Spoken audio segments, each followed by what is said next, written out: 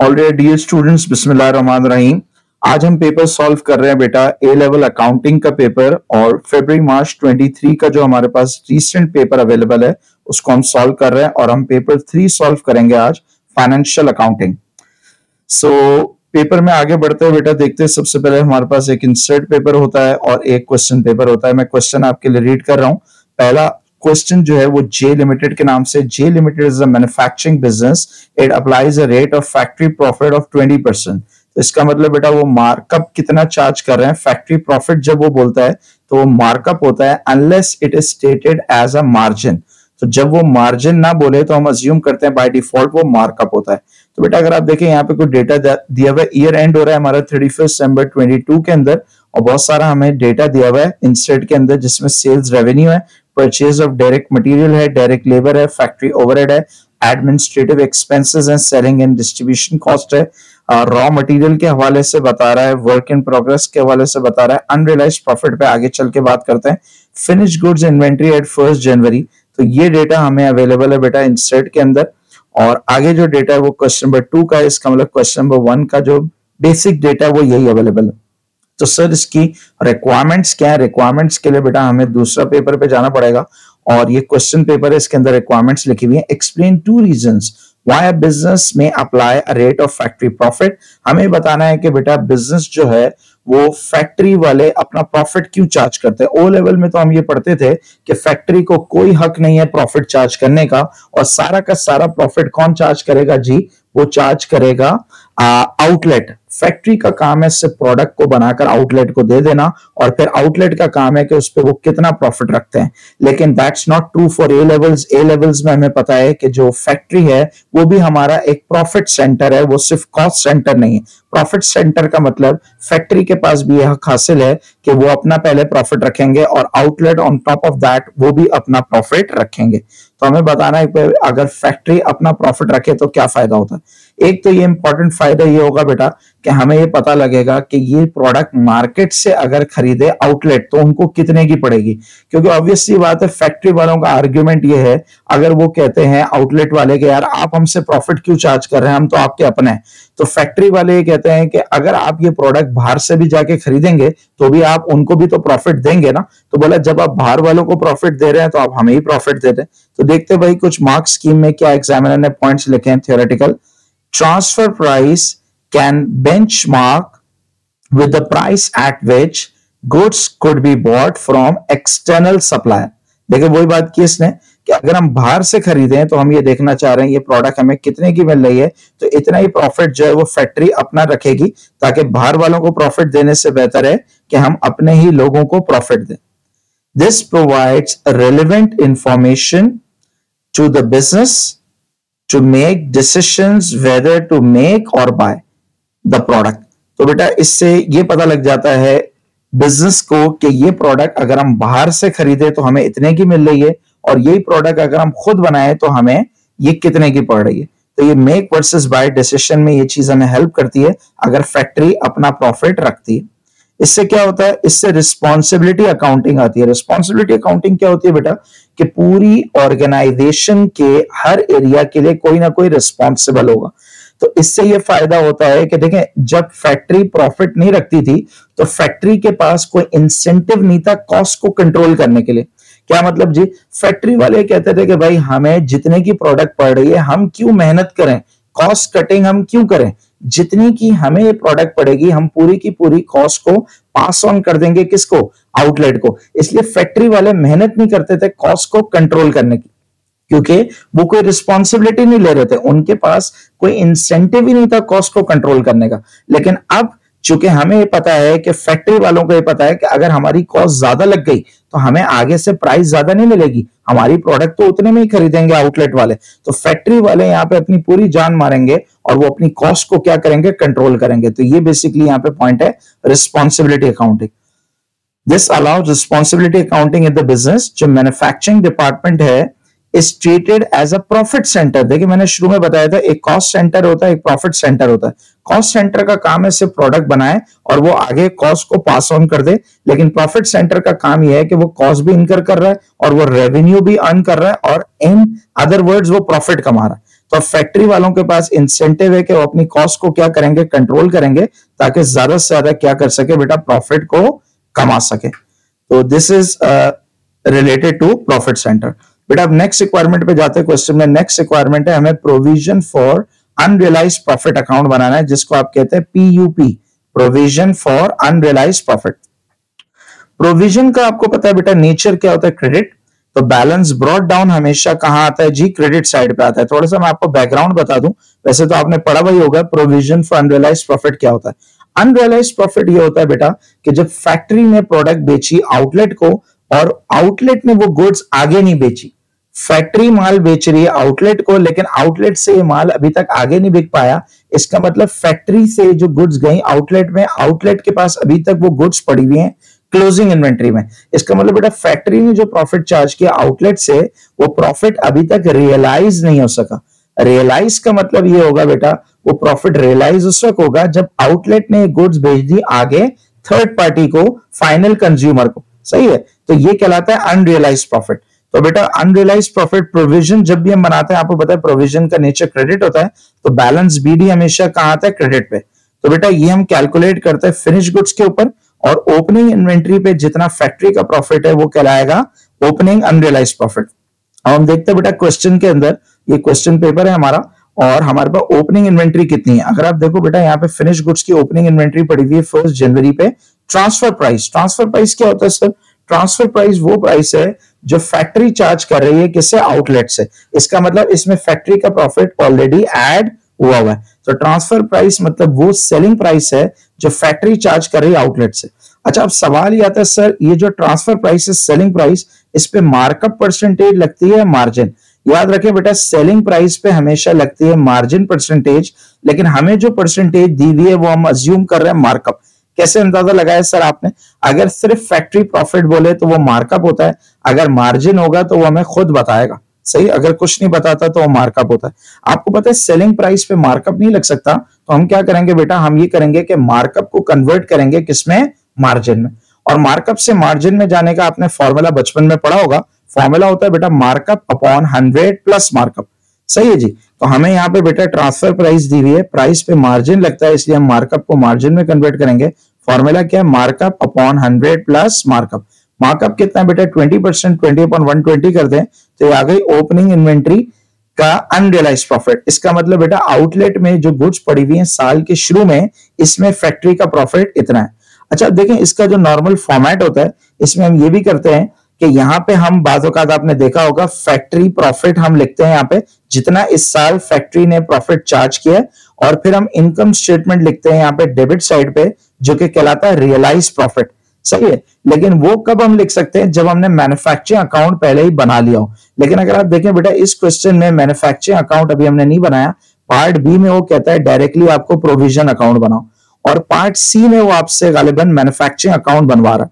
तो बेटा, जब तक हमें फैक्ट्री प्रॉफिट हमें पता नहीं है, और आपको पता है पार्ट बी अगर हम सॉल्व कर रहे हैं तो जो एडिशनल इंफॉर्मेशन है, वो हम अभी यूज़ नहीं कर सकते, क्योंकि वो पार्ट सी के लिए हमें दी हुई सही है? तो अब हमें फैक्ट्री प्रॉफिट तो यहाँ पे नहीं पता। सिर्फ़ हमें देखना होगा बेटा कि अनरियलाइज प्रॉफिट कितने से बढ़ गया या कितने से कम हो गया। ये कैसे पता चलेगा सर? हम देखते हैं क्वेश्चन पेपर पढ़ते हैं और यहाँ पे बता रहा है अनरियलाइज प्रॉफिट इंक्रीज हो गया या डिक्रीज हो गया। अगर आप देखो बेटा अनरियलाइज प्रॉफिट यहाँ पे हमारा इंक्रीज हो गया। कितने से अनरियलाइज प्रॉफिट बढ़ गया सर? अनरियलाइज प्रॉफिट बेटा हमारा इंक्रीज हो गया बाय 600 तो बेटा अगर आप देखो ओपनिंग अनरियलाइज प्रॉफिट है 4400 और अगर अनरियलाइज प्रॉफिट इस साल बढ़ गया तो बेटा जब प्रोविज़न जब बढ़ता है तो उसको हम क्या करते हैं? क्रेडिट करते हैं। अगर आपको याद हो, अगर आप उसको रिलेट करें प्रोविज़न फॉर डाउटफुल डेट से तो आपने पढ़ा था जब भी प्रोविज़न बढ़ता है तो हम एंट्री बनाते हैं इनकम स्टेटमेंट डेबिट और प्रोविज़न क्रेडिट प्रोविज़न बेटा एक कॉन्ट्रा एसेट है, जब भी प्रोविज़न बढ़ेगा तो उसको हम क्रेडिट करेंगे और हम ये एंट्री बनाएँगे जी इनकम स्टेटमेंट डेबिट और प्रोविज़न क्रेडिट प्रोविज़न जो बढ़ता है, वो हमारे लिए एक तरीके का एक्सपेंस होता है। तो यहाँ पे हम बेटा 600 से अपने प्रोविज़न को बढ़ा देंगे। तो ओपनिंग प्रोविज़न कितना पड़ा हुआ है बेटा? 4400 और 600 से इंक्रीज हो गया तो दोनों को ऐड कर देंगे। और जो क्लोजिंग प्रोविज़न आ गया बेटा बैलेंस सीडी वो आ गया हमारा 5000 और ये जो बैलेंस सीडी है बेटा, यही अगले पीरियड में क्या बन जाएगा? बैलेंस ब्रॉड डाउन तो चाहे तो इसमें हम डेट्स भी डाल देते हैं। फ़र्स्ट जनवरी ओपनिंग है। इनकम स्टेटमेंट में हमेशा ईयर एंड की डेट डलेगी थर्टी फ़र्स्ट में भी ईयर एंड की डेट और फिर इसके बाद ये फ़र्स्ट जनवरी 23 बन जाएगा। तो बेटा, एक तो ये फॉर्मेट है प्रोविज़न अकाउंट बनाने का और एक और भी फॉर्मेट होता है। उसमें ये होता है कि जो इनकम स्टेटमेंट होता है, ये आता है डेबिट साइड पे रियलाइज़ प्रॉफिट के नाम से, और क्रेडिट साइड पे यहाँ पे हम लिखते हैं फैक्ट्री प्रॉफिट तो वो फॉर्मेट भी सही है, वो बनाना चाहिए आपको, लेकिन उसके लिए हमें फैक्ट्री प्रॉफिट चाहिए होगा। और फैक्ट्री प्रॉफिट यहाँ दिया हुआ नहीं था, क्योंकि वो जब तक हमें नहीं निकलेगा, जब तक हम मैन्युफैक्चरिंग अकाउंट नहीं बनाएँगे। तो यहाँ पे बेटा हम यही वाला फॉर्मेट यूज़ करेंगे। एग्जामिनर ने भी यहाँ पे यही वाला फॉर्मेट जो है वो यूज़ किया है। इसके बाद बेटा हम थर्ड रिक्वायरमेंट पे जाते हैं क्वेश्चन की। और थर्ड रिक्वायरमेंट में हमसे क्या मांगा गया जी? हमसे मांगा गया है मैन्युफैक्चरिंग अकाउंट तो कुछ एडिशनल इन्फॉर्मेशन दी हुई बेटा क्वेश्चन पेपर में, वो हम पढ़ लेते हैं। कह रहे sir direct labour cost include three thousand for workers repairing factory machinery आपको पता है डायरेक्ट लेबर में वो कॉस्ट होती है जो ट्रेसेबल होती है। अगर वर्कर्स ने मशीनरी को रिपेयर किया है तो वो डायरेक्ट लेबर में नहीं आना चाहिए बेटा, वो फैक्ट्री ओवरहेड में आना चाहिए। सही? मैन्युफैक्चरिंग या फैक्ट्री ओवरहेड ऑफ़िस इक्विपमेंट जिसकी कॉस्ट थी टेन थाउज़ेंड जो कि हमने बाय किया है कब? जनवरी में, वो उसको हमने क्लासिफाई किया एज अ फैक्ट्री मशीनरी जो कि गलत किया ऑफ़िस इक्विपमेंट बेटा इनकम स्टेटमेंट में इसका सारा जाता है कैलकुलेशन लेकिन हमने इसको ट्रीट कर लिया एज अ फैक्ट्री मशीनरी और वो कह रहे हैं, दोनों को हम डिप्रिशिएट करें at the rate of ten percent per annum using straight line method तो इसका मतलब बेटा डिप्रिशिएशन हमें चार तो करनी पड़ेगी, लेकिन हम उसको गलती से हमने उसको फैक्ट्री मशीनरी ट्रीट किया है तो अब हम उसको फैक्ट्री मशीनरी के बजाय ऑफ़िस इक्विपमेंट जब क्लासिफाई करेंगे तो इसकी जो डिप्रिसिएशन है वो मैन्युफैक्चरिंग अकाउंट में नहीं जानी चाहिए, बल्कि वो जानी चाहिए इनकम स्टेटमेंट में। सही, और जे लिमिटेड ने ऑप्टेन किया एक लोन और लोन लिया गया बेटा किसके लिए? डिलीवरी वैन को बाय करने के लिए। और जो इंटरेस्ट ऑन लोन है, वो कह रहा है हमने कहाँ पे चार्ज कर दिया सेलिंग एंड डिस्ट्रीब्यूशन में। तो इंटरेस्ट ऑन लोन बेटा नॉर्मली सेलिंग एंड डिस्ट्रीब्यूशन में हम नहीं लिखते, बल्कि इंटरेस्ट ऑन लोन को हम लिखते हैं फाइनेंस कॉस्ट के अंदर। सही है जी? तो अब हम बनाते हैं बेटा मैन्युफैक्चरिंग अकाउंट और देखते हैं जरा मैन्युफैक्चरिंग अकाउंट कैसे बनेगा। मैन्युफैक्चरिंग अकाउंट बेटा हमेशा हम बनाते हैं टू कॉलम्स के अंदर और जिसके अंदर आता है सबसे पहले direct raw material direct raw material कैसे आता है जी? सबसे पहले ओपनिंग इन्वेंट्री आती है then we have to add purchase of raw material तो बेटा डेटा पढ़ते सवाल में डेटा कहाँ दिया हुआ है?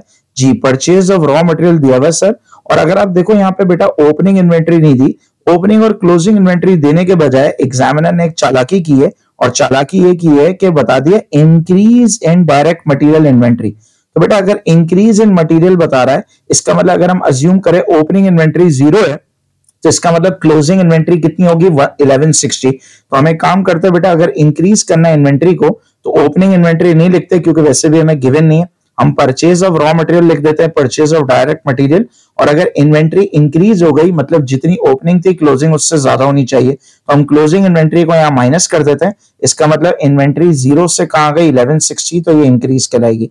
और आपको पता है रॉ मटेरियल का जो टोटल होता है, इसमें और भी चीज़ें आ सकती है ओपनिंग यहाँ पे है नहीं, और कैरेज इनवर्ड आ सकता है, और परचेज रिटर्न आ सकता है रॉ मटेरियल का, जो कि चीज़ें गिवन नहीं है। और आपको पता है रॉ मटेरियल का जो फाइनल आंसर होता है, वो कहलाता है cost of raw material consume अगर हो सके तो ये लेवल ज़्यादा है एग्जामिनर जो है वो प्रॉपर वर्किंग देखना चाहता है। डायरेक्ट मटेरियल के बाद, बेटे, जो दूसरी चीज़ आती है, वो आती है डायरेक्ट लेबर डायरेक्ट लेबर का दूसरा नाम होता है प्रोडक्शन वेजेस या factory wages sir direct labour यहाँ पहले ही दी हुई है 196 200 लेकिन अगर आप देखें इसमें एक मस्ती थी, और मस्ती ये बेटा लेबर कॉस्ट में गलती से इन्होंने मशीनरी रिपेयरिंग का खर्चा डाल दिया बेटा वर्कर अगर मशीनरी रिपेयर कर रहे हैं तो वो डायरेक्ट लेबर में नहीं आता डायरेक्ट लेबर में से वो पैसे जो हम लेबर को दे रहे हैं, जो कि प्रोडक्ट को बनाने के लिए दे रहे हैं। सही, यहाँ पे मशीनरी को सही करने के जो पैसे हैं, ये ओवरहेड्स में जाना चाहिए। तो हम काम करते हैं थ्री थाउज़ेंड जो है, वो हम डायरेक्ट लेबर में से माइनस कर देते हैं और उसको कहाँ शो कर देते हैं सर प्रोडक्शन ओवरहेड में। आपको पता है डायरेक्ट मटेरियल डायरेक्ट लेबर और एक और चीज़ भी आती है बेटा डायरेक्ट एक्सपेंस जो कि यहाँ पे है नहीं डायरेक्ट एक्सपेंस या रॉयल्टी और आपको पता है sum of all direct cost अगर हम करें there are known as prime cost अगर सारी डायरेक्ट कॉस्ट को ऐड करें प्राइम कॉस्ट और प्राइम कॉस्ट के बाद बेटा क्या आता है हमारे पास? फैक्ट्री ओवरहेड या प्रोडक्शन ओवरहेड्स या मैन्युफैक्चरिंग ओवरहेड्स बाद एक ही क्या क्वेश्चन में सर पहले से हमें फैक्ट्री ओवरहेड दिए हुए बिल्कुल। क्वेश्चन में अगर आप देखें फैक्ट्री ओवरहेड पहले हमें दिए हुए एटी फाइव थाउज़ेंड लेकिन यहाँ पे एक कंफ्यूजन है और एक प्रॉब्लम है।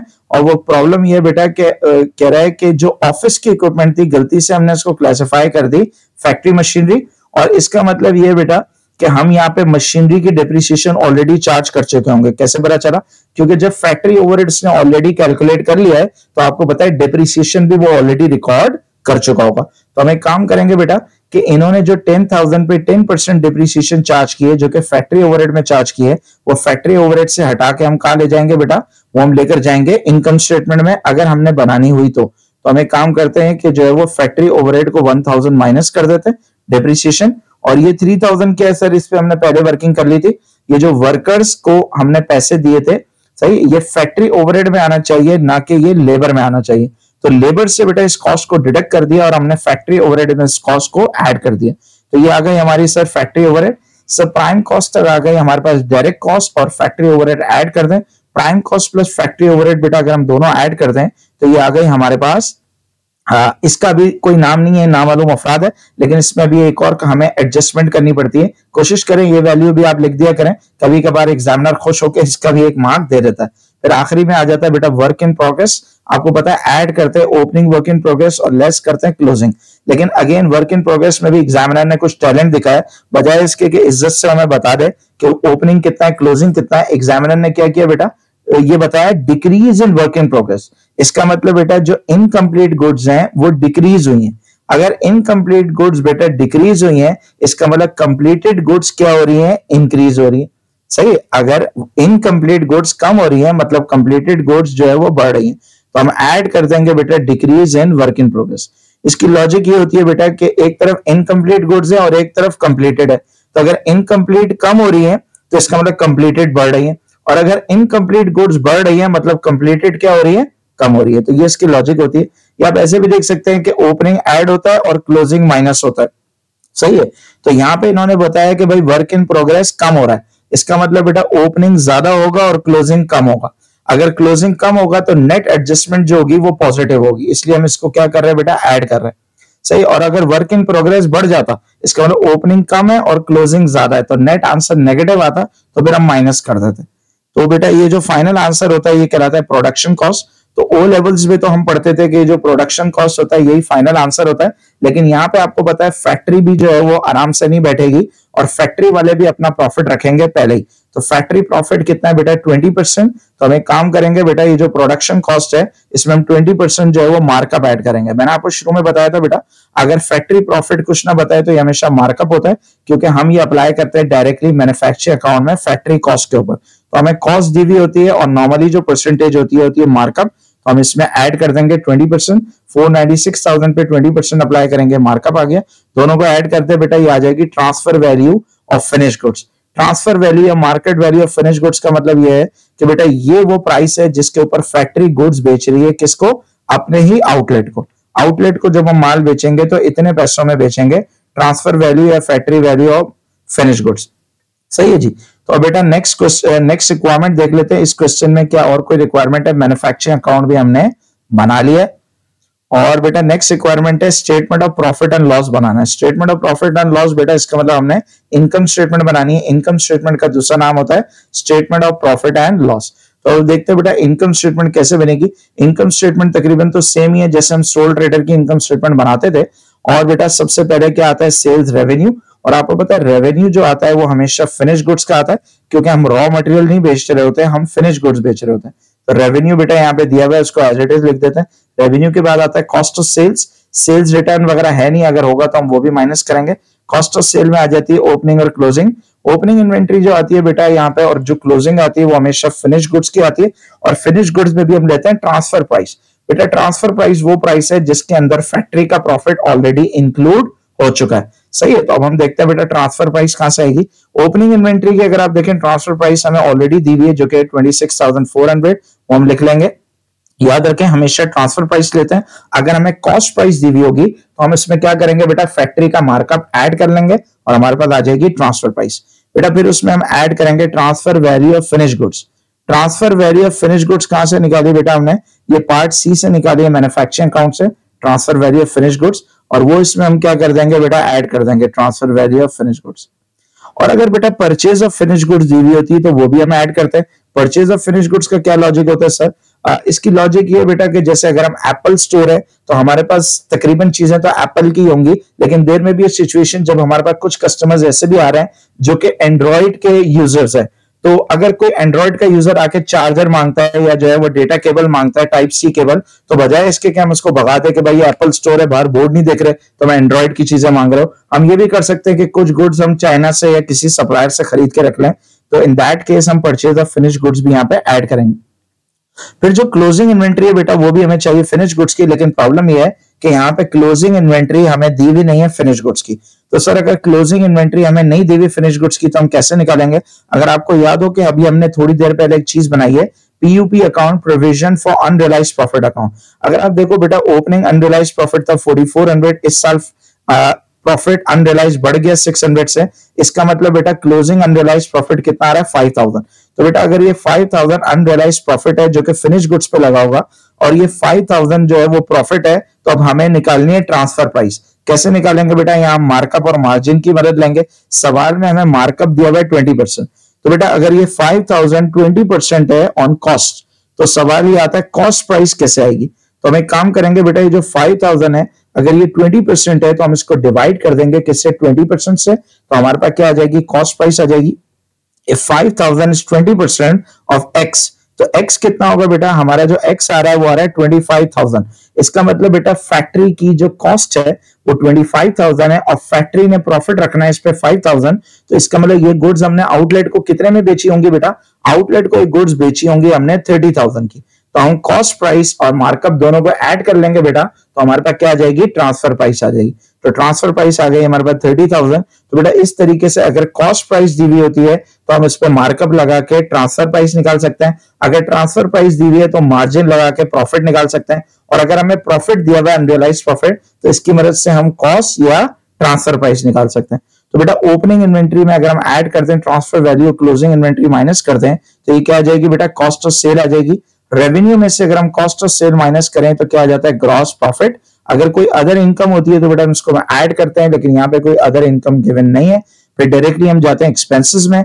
यहाँ जो एक्सपेंसेस है बेटा, उसको हम एक्सपेंसेस नहीं बोलते, इसको हम कहते हैं नॉन प्रोडक्शन ओवरहेड और नॉन मैन्युफैक्चरिंग ओवरहेड ये नॉन प्रोडक्शन या नॉन मैन्युफैक्चरिंग ओवरहेड होते हैं। इसमें बेटा कौन से एक्सपेंसेस आते हैं? इसमें सारे आउटलेट के एक्सपेंसेस आते हैं, जैसे कि एडमिनिस्ट्रेटिव एक्सपेंसेस अगर आप देखें, सवाल में एडमिनिस्ट्रेटिव एक्सपेंसेस दिए हुए तो क्या इसकी कोई अदर इंफॉर्मेशन दी हुई है? अदर इंफॉर्मेशन जो है ये पढ़ लेते हैं। एडमिन एक्सपेंसेस में क्या कोई मस्ती तो नहीं है? एडमिन एक्सपेंसेस में ये बता रहा है, जी सेलिंग एंड डिस्ट्रीब्यूशन में मस्ती है कि हमने बेटा लोन लिया और लोन का इंटरेस्ट हमने कहा चार्ज कर दिया सेलिंग एंड डिस्ट्रीब्यूशन में। और एक और मसला ये बेटा कि ये बता रहा है कि ये फैक्ट्री का मशीनरी था सॉरी ये ऑफ़िस का इक्विपमेंट था, लेकिन गलती से हमने इसको ट्रीट कर दिया था फैक्ट्री मशीनरी और इसकी वजह से हमने डिप्रिसिएशन कहाँ चार्ज कर दी थी? फैक्ट्री ओवरहेड में, जो कि नहीं करना चाहिए था। तो अब हम एक काम करेंगे बेटा कि फैक्ट्री ओवरहेड को हमने कम कर दिया था वन थाउज़ेंड से, लेकिन ये जो डिप्रिसिएशन है, अब ये कहाँ चार्ज करेंगे हम इनकम स्टेटमेंट में? सही है जी? तो ये इनकम स्टेटमेंट चूँकि ऑफ़िस का इक्विपमेंट है तो डिप्रिसिएशन भी कहाँ जानी चाहिए? ऑफ़िस में। और ऑफ़िस का जो ओवरहेड है यहाँ पे एडमिन के नाम से। तो बेटा जो पहले से हमें एडमिन दिया हुआ है वो, और इसमें वन थाउज़ेंड जो हम डिप्रिसिएशन है ऑफ़िस की वो ऐड कर देंगे। आपको पता है मैन्युफैक्चरिंग अकाउंट में हर वो चीज़ जो आती है, जो फैक्ट्री से रिलेटेड आती है तो बेटा प्रोडक्ट को बनाने की जितनी भी कॉस्ट है, वो जाती है मैन्युफैक्चरिंग अकाउंट में और लोगों को बनाना, भाई, लोगों को बनाना कि वो हमारी प्रोडक्ट खरीदें तो वो कहा जाती है बेटा? सारी चीज़ें वो जाती है इनकम स्टेटमेंट में, लोगों को बनाना, जैसे सेलिंग मार्केटिंग एडवर्टाइजिंग ये सारी चीज़ें आती है। उसके बाद है बेटा selling and distribution selling and distribution हमें पहले से दिया हुआ है, बस इसमें काम ये करना है कि जो फाइनेंस कॉस्ट है, उसको हम सेलिंग एंड डिस्ट्रीब्यूशन में चार्ज नहीं कर सकते, उसको हम अलग से शो करते हैं। तो अब ये जो सवाल है बेटा, ये कंपनी से रिलेटेड है, जैसा कि इसने बताया ऊपर कि ये जो मैन्युफैक्चरिंग सेटअप है, ये क्या है? ये कंपनी है। ये कहा लिखा हुआ है? जे लिमिटेड है। सही है? तो कंपनी में आपको पता है, जो लोन का इंटरेस्ट होता है फाइनेंस कॉस्ट इसको बाकी एक्सपेंसेस में शो नहीं करते, बल्कि उसको अलग से हम हाईलाइट करते हैं। तो बेटा, ये सारे एक्सपेंसेस हमने माइनस कर दिए नॉन मैन्युफैक्चरिंग ओवरहेड किसके? आउटलेट के।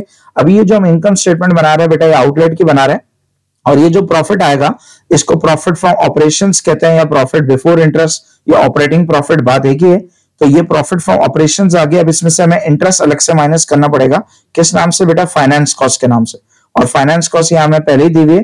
तो अब जो प्रॉफिट आता है नॉर्मली ये तो प्रॉफिट फॉर द ईयर कहलाता है। लेकिन यहाँ पे हम इसको लिखते हैं profit from trading profit from trading क्यों लिखते हैं?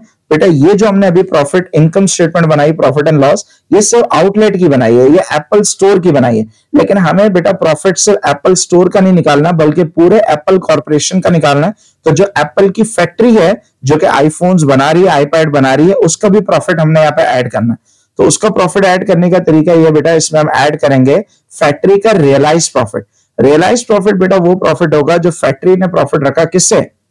आउटलेट से लेकिन आउटलेट ने भी ये गुड्स आगे बेच दी तो ये कहलाएगा फैक्ट्री का रियलाइज़ प्रॉफिट अब ये कैसे आएगा बेटा? सबसे पहले तो हम इसमें फैक्ट्री प्रॉफिट लिखेंगे, और अभी आप देखें, थोड़ी देर पहले हमने मैन्युफैक्चरिंग अकाउंट में फैक्ट्री प्रॉफिट लिखा था। कितना प्रॉफिट बेटा हमने चार्ज किया? नाइनटी ये फैक्ट्री प्रॉफिट है। तो सबसे पहले हम यहाँ पे फैक्ट्री प्रॉफिट लिख देंगे। जितना हम ऑलरेडी कैलकुलेट कर चुके हैं यूजिंग मैन्युफैक्चरिंग अकाउंट फिर इसमें हम अनरियलाइज प्रॉफिट की एडजस्टमेंट करेंगे। सवाल में इसने बेटा क्लियरली बता दिया है कि अनरियलाइज प्रॉफिट बढ़ गया। तो बेटा अगेन अगर अनरियलाइज प्रॉफिट बढ़ रहा है इसका मतलब रियलाइज़ प्रॉफिट क्या हो रहा है? कम हो रहा है। Increase in provision for unrealised profit इसका मतलब बेटा जितनी ओपनिंग इन्वेंट्री पड़ी हुई थी क्लोजिंग में इन्वेंट्री बढ़ गई। जितनी इन्वेंट्री बढ़ गई इसका मतलब बेटा इतना ज़्यादा प्रॉफिट क्या है? अनरियलाइज है। तो ये अच्छी बात नहीं है। तो बेटा जितने से अनरियलाइज प्रॉफिट बढ़ गया वो हम क्या करेंगे? यहाँ पे माइनस कर देंगे। इसका मतलब बेटा 99,200 इस साल हमने प्रॉफिट चार्ज किया किससे?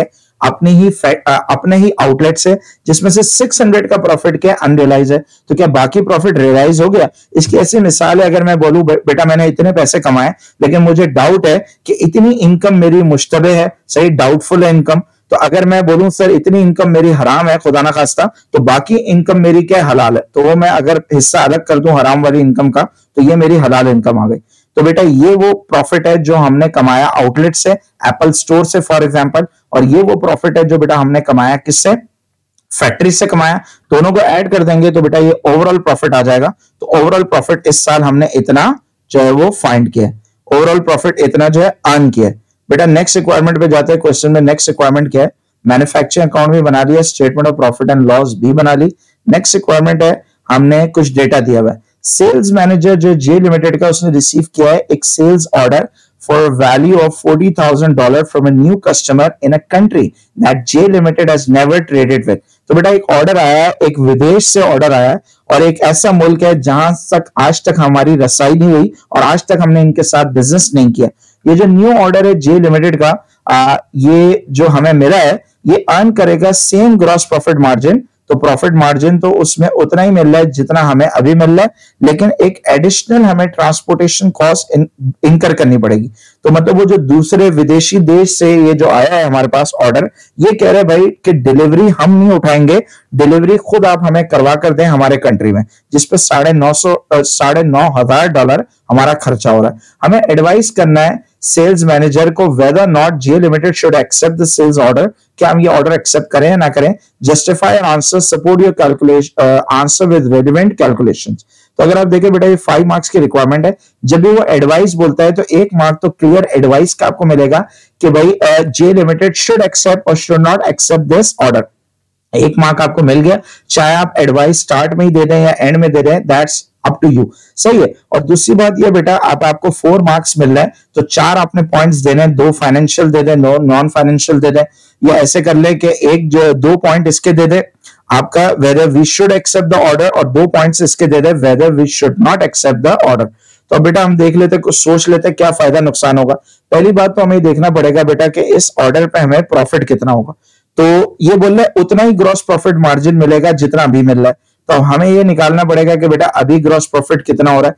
मार्जिन पहले निकालेंगे, फिर जो रेवेन्यू हो रहा है फोर्टी थाउज़ेंड उस पर हम जीपी मार्जिन लगाएँगे तो हमारे पास प्रॉफिट आ जाएगा जीपी आ जाएगा, उसमें से फिर हम ये एडिशनल ट्रांसपोर्टेशन कॉस्ट वो माइनस करेंगे तो इससे हमें पता लगेगा कि ओवरऑल प्रॉफिट हमें कितना हो रहा है। तो देखते बेटा क्या वर्किंग जो है एग्जामिनर ने हमें बताई है।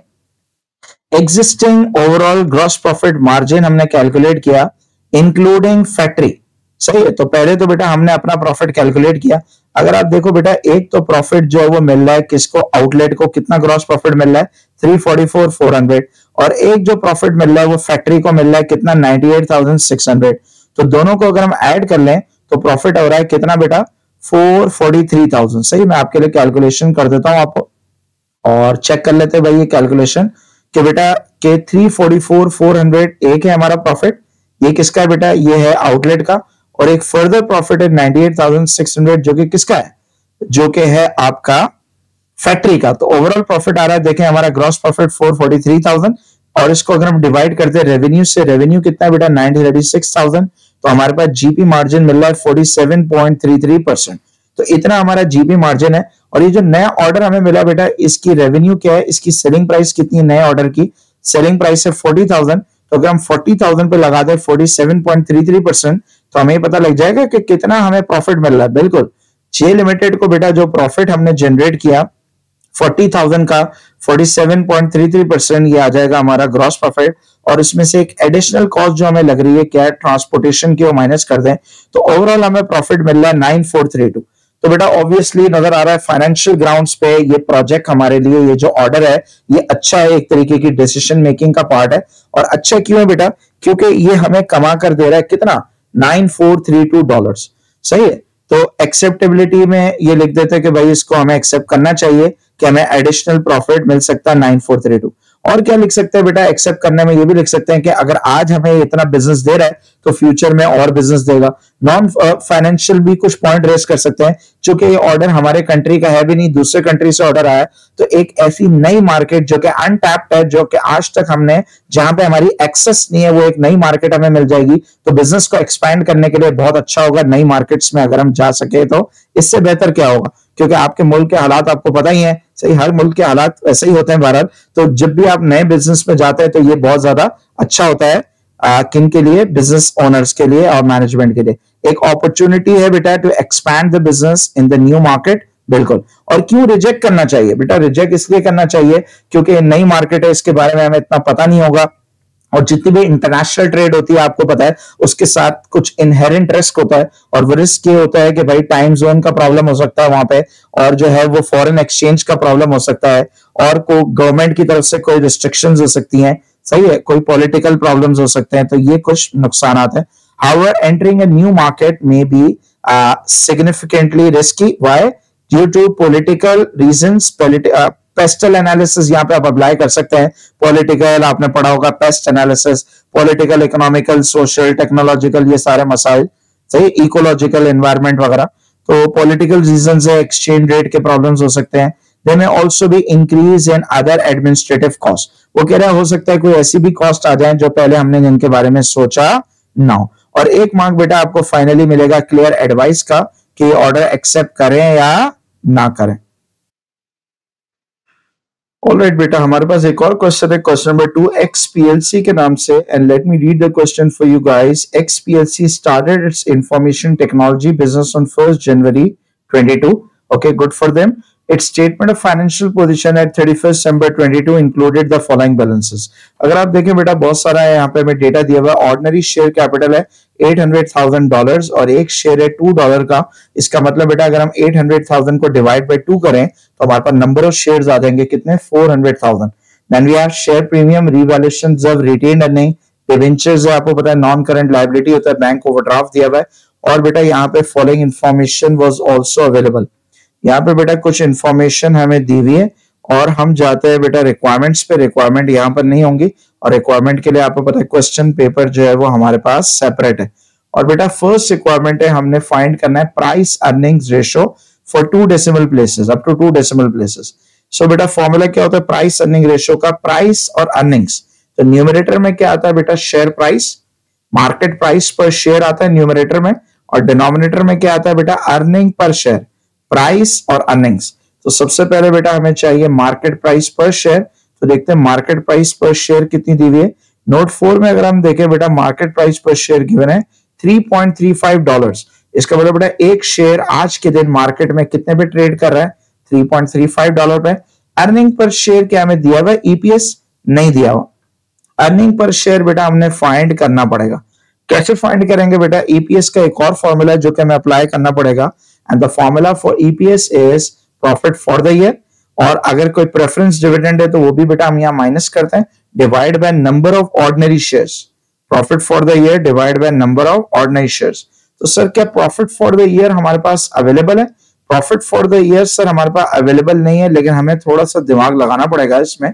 और वो ये कह रहा है, बेटा एक्स पीएलसी ने स्टार्ट किया business and this is the first year of the business इसका मतलब बेटा we have just started the business this is the first year first January इसका मतलब बेटा, जो भी हमने प्रॉफिट कमाया होगा इस साल, वो हमने रिटेन अर्निंग में डाल दिया होगा। अग्री कर रहे हैं? इसका मतलब ये जो रिटेन अर्निंग होती है, और रिटेन अर्निंग में बेटा, एक तो प्रॉफिट फॉर द ईयर जाता है, और दूसरा ये होता है कि अगर कोई डिविडेंड्स हमने पे किए तो वो रिटेन अर्निंग में से क्या हो जाता है? माइनस हो जाता है। तो हम देखते हैं सर क्या हमने कोई डिविडेंड्स पे किए? बिल्कुल। वो कह रहे हैं interim dividend of point twelve per share was paid on first October 2022 तो इसका मतलब बेटा, इस साल हमने डिविडेंड भी पे किया है। तो अगर हम एक काम करें बेटा, जितना डिविडेंड हमने माइनस किया होगा कहाँ से? रिटेन अर्निंग में से। अगर हम उसको एड बैक कर दें रिटेन अर्निंग में तो क्या प्रॉफिट फॉर द ईयर आ जाएगा? बिल्कुल। तो सर टोटल शेयर्स कितने हैं? अभी हमने देख लिया बेटा टोटल शेयर्स हैं फोर हंड्रेड थाउज़ेंड शेयर्स और अगर हम एक शेयर पे मल्टीप्लाई कर दें पॉइंट ट्वेल्व तो हमारे पास डिविडेंड आ जाएगा? ट्वेंटी फोर थाउज़ेंड बेटा हमारे पास रिटेन अर्निंग है। और इसमें अगर हम एड बैक कर दें टोटल डिविडेंड और टोटल डिविडेंड कैसे आएगा बेटा? डिविडेंड पर शेयर है ट्वेल्व सेंट और इसको मल्टीप्लाई कर दे फोर हंड्रेड थाउज़ेंड शेयर से तो टोटल डिविडेंड आ गया फोर्टी एट थाउज़ेंड तो बेटा जो रिटेन अर्निंग है, वो डिविडेंड माइनस करने के बाद आता है रिटेन अर्निंग और अगर हम दोनों को ऐड कर दें तो ये इस साल का प्रॉफिट होगा। और जो टोटल प्रॉफिट है बेटा, इसको डिवाइड कर दे नंबर ऑफ़ ऑर्डनरी शेयर से तो पर शेयर पे हमें ये पता लग जाएगा कि अर्निंग कितनी है। तो यार है बेटा पॉइंट वन एट मतलब एटीन सेंट्स तो अगर हम 18 सेंट कमा रहे हैं एक शेयर पे तो हम ये देखना चाह रहे हैं, बेटा शेयर की प्राइस क्या है मार्केट में? मार्केट में एक शेयर ट्रेड हो रहा है, बेटा 3.35 डॉलर्स का जिसपे हम कमा कितना रहे हैं 18 सेंट तो ये पता लग जाएगा, बेटा 18.61 टाइम्स हमारी क्या है price earning ratio price earning ratio बेटा, किस चीज़ को शो करता है? Price earning ratio basically shareholder का कॉन्फिडेंस बताता है कि शेयर होल्डर एक शेयर जो कि अर्न करके दे रहा है कितना? 18 सेंट उसको खरीदने के लिए शेयर होल्डर इतना उतावला हुआ हुआ है, सही मैं ये वर्ड यूज़ करूँगा कि शेयर होल्डर जो है 18 टाइम्स ज़्यादा पैसे देने के लिए तैयार है। बस वो किसी भी तरीके से चाहता है कि ये शेयर मुझे मिल जाए। तो बेटा, इसका जो बेंचमार्क होता है, वो होता है ten times price earning ratio का। Anything that is above ten times तो हमारे लिए अच्छा होता है। और ये तो एटीन टाइम्स पे जा रहा है, इसका मतलब शेयर होल्डर्स को कंपनी को लेकर बहुत ज़्यादा जो है वो कॉन्फिडेंस है कंपनी के फ्यूचर को लेकर और इसकी जो है वो ग्रोथ प्रोस्पेक्ट्स को लेकर नेक्स्ट पे बात करते बेटा नेक्स्ट रिक्वायरमेंट क्या है? If you look at the question paper next requirement है बेटा डिविडेंड यील्ड यील्ड किसको कहते हैं बेटा? यील्ड कहते हैं रिटर्न को। डिविडेंड यील्ड कैसे आता है? जिसमें न्यूमरेटर में हम लेते हैं डिविडेंड पर शेयर डीपीएस और डिनोमिनेटर में अगेन आ जाता है मार्केट प्राइस पर शेयर तो डिविडेंड यील्ड बेटा हमें यह बताता है कि हम जो है, वो अच्छा एक बात और इंपॉर्टेंट है, यहाँ पे मैंने लिखी है कि जो डिविडेंड है, उसमें सिर्फ़ डिविडेंड पेड नहीं आता है डिविडेंड यील्ड में प्रोपोज भी आता है। इसका मतलब बेटा, अगर हमने डिविडेंड प्रोपोज किया है शेयर होल्डर्स को and for any reason share holder ने वो डिविडेंड एक्सेप्ट नहीं किया तो वो भी उसकी यील्ड में आएगा। बाकी जितने भी बेटा रेशियोज हैं उसमें हम डिविडेंड पेड लेते हैं प्रोपोज नहीं लेते, लेकिन यहाँ पे हम डिविडेंड बेटा सिर्फ़ पेड नहीं लेंगे प्रोपोज भी लेंगे। सही है जी? तो यहाँ पे वैसे इसकी ज़रूरत नहीं थी, लेकिन मैंने आपको एक्स्ट्रा नॉलेज के लिए बता दिया multiply by hundred times hundred dividend per share कैसे आएगा बेटा? Dividend per share I guess already हमें गिवन है, और अगर आप देखें, यहाँ पे बता रहे हैं इंटरिम डिविडेंड कितना पे किया है? पॉइंट ट्वेल्व और अगर कोई फाइनल डिविडेंड प्रपोज होता है तो वो भी हम ऐड कर लेते तो डिविडेंड पर शेयर है बेटा twelve cent divide by market price market में अगर आप देखो बेटा, एक शेयर कितने पे ट्रेड हो रहा है? मार्केट में एक शेयर ट्रेड हो रहा है three point three five dollar पे। तो डिविडेंड पर शेयर को डिवाइड कर दें market price per share times hundred तो ये आ जाएगा बेटा डिविडेंड यील्ड यील्ड बेटा हमें ये बताता है कि कितना शेयर होल्डर को रिटर्न मिल रहा है। इसका मतलब अगर एक शेयर होल्डर ने हंड्रेड डॉलर लगाया, आपकी कंपनी के शेयर्स खरीदे तो एक साल इंतज़ार करके उसको मिला क्या?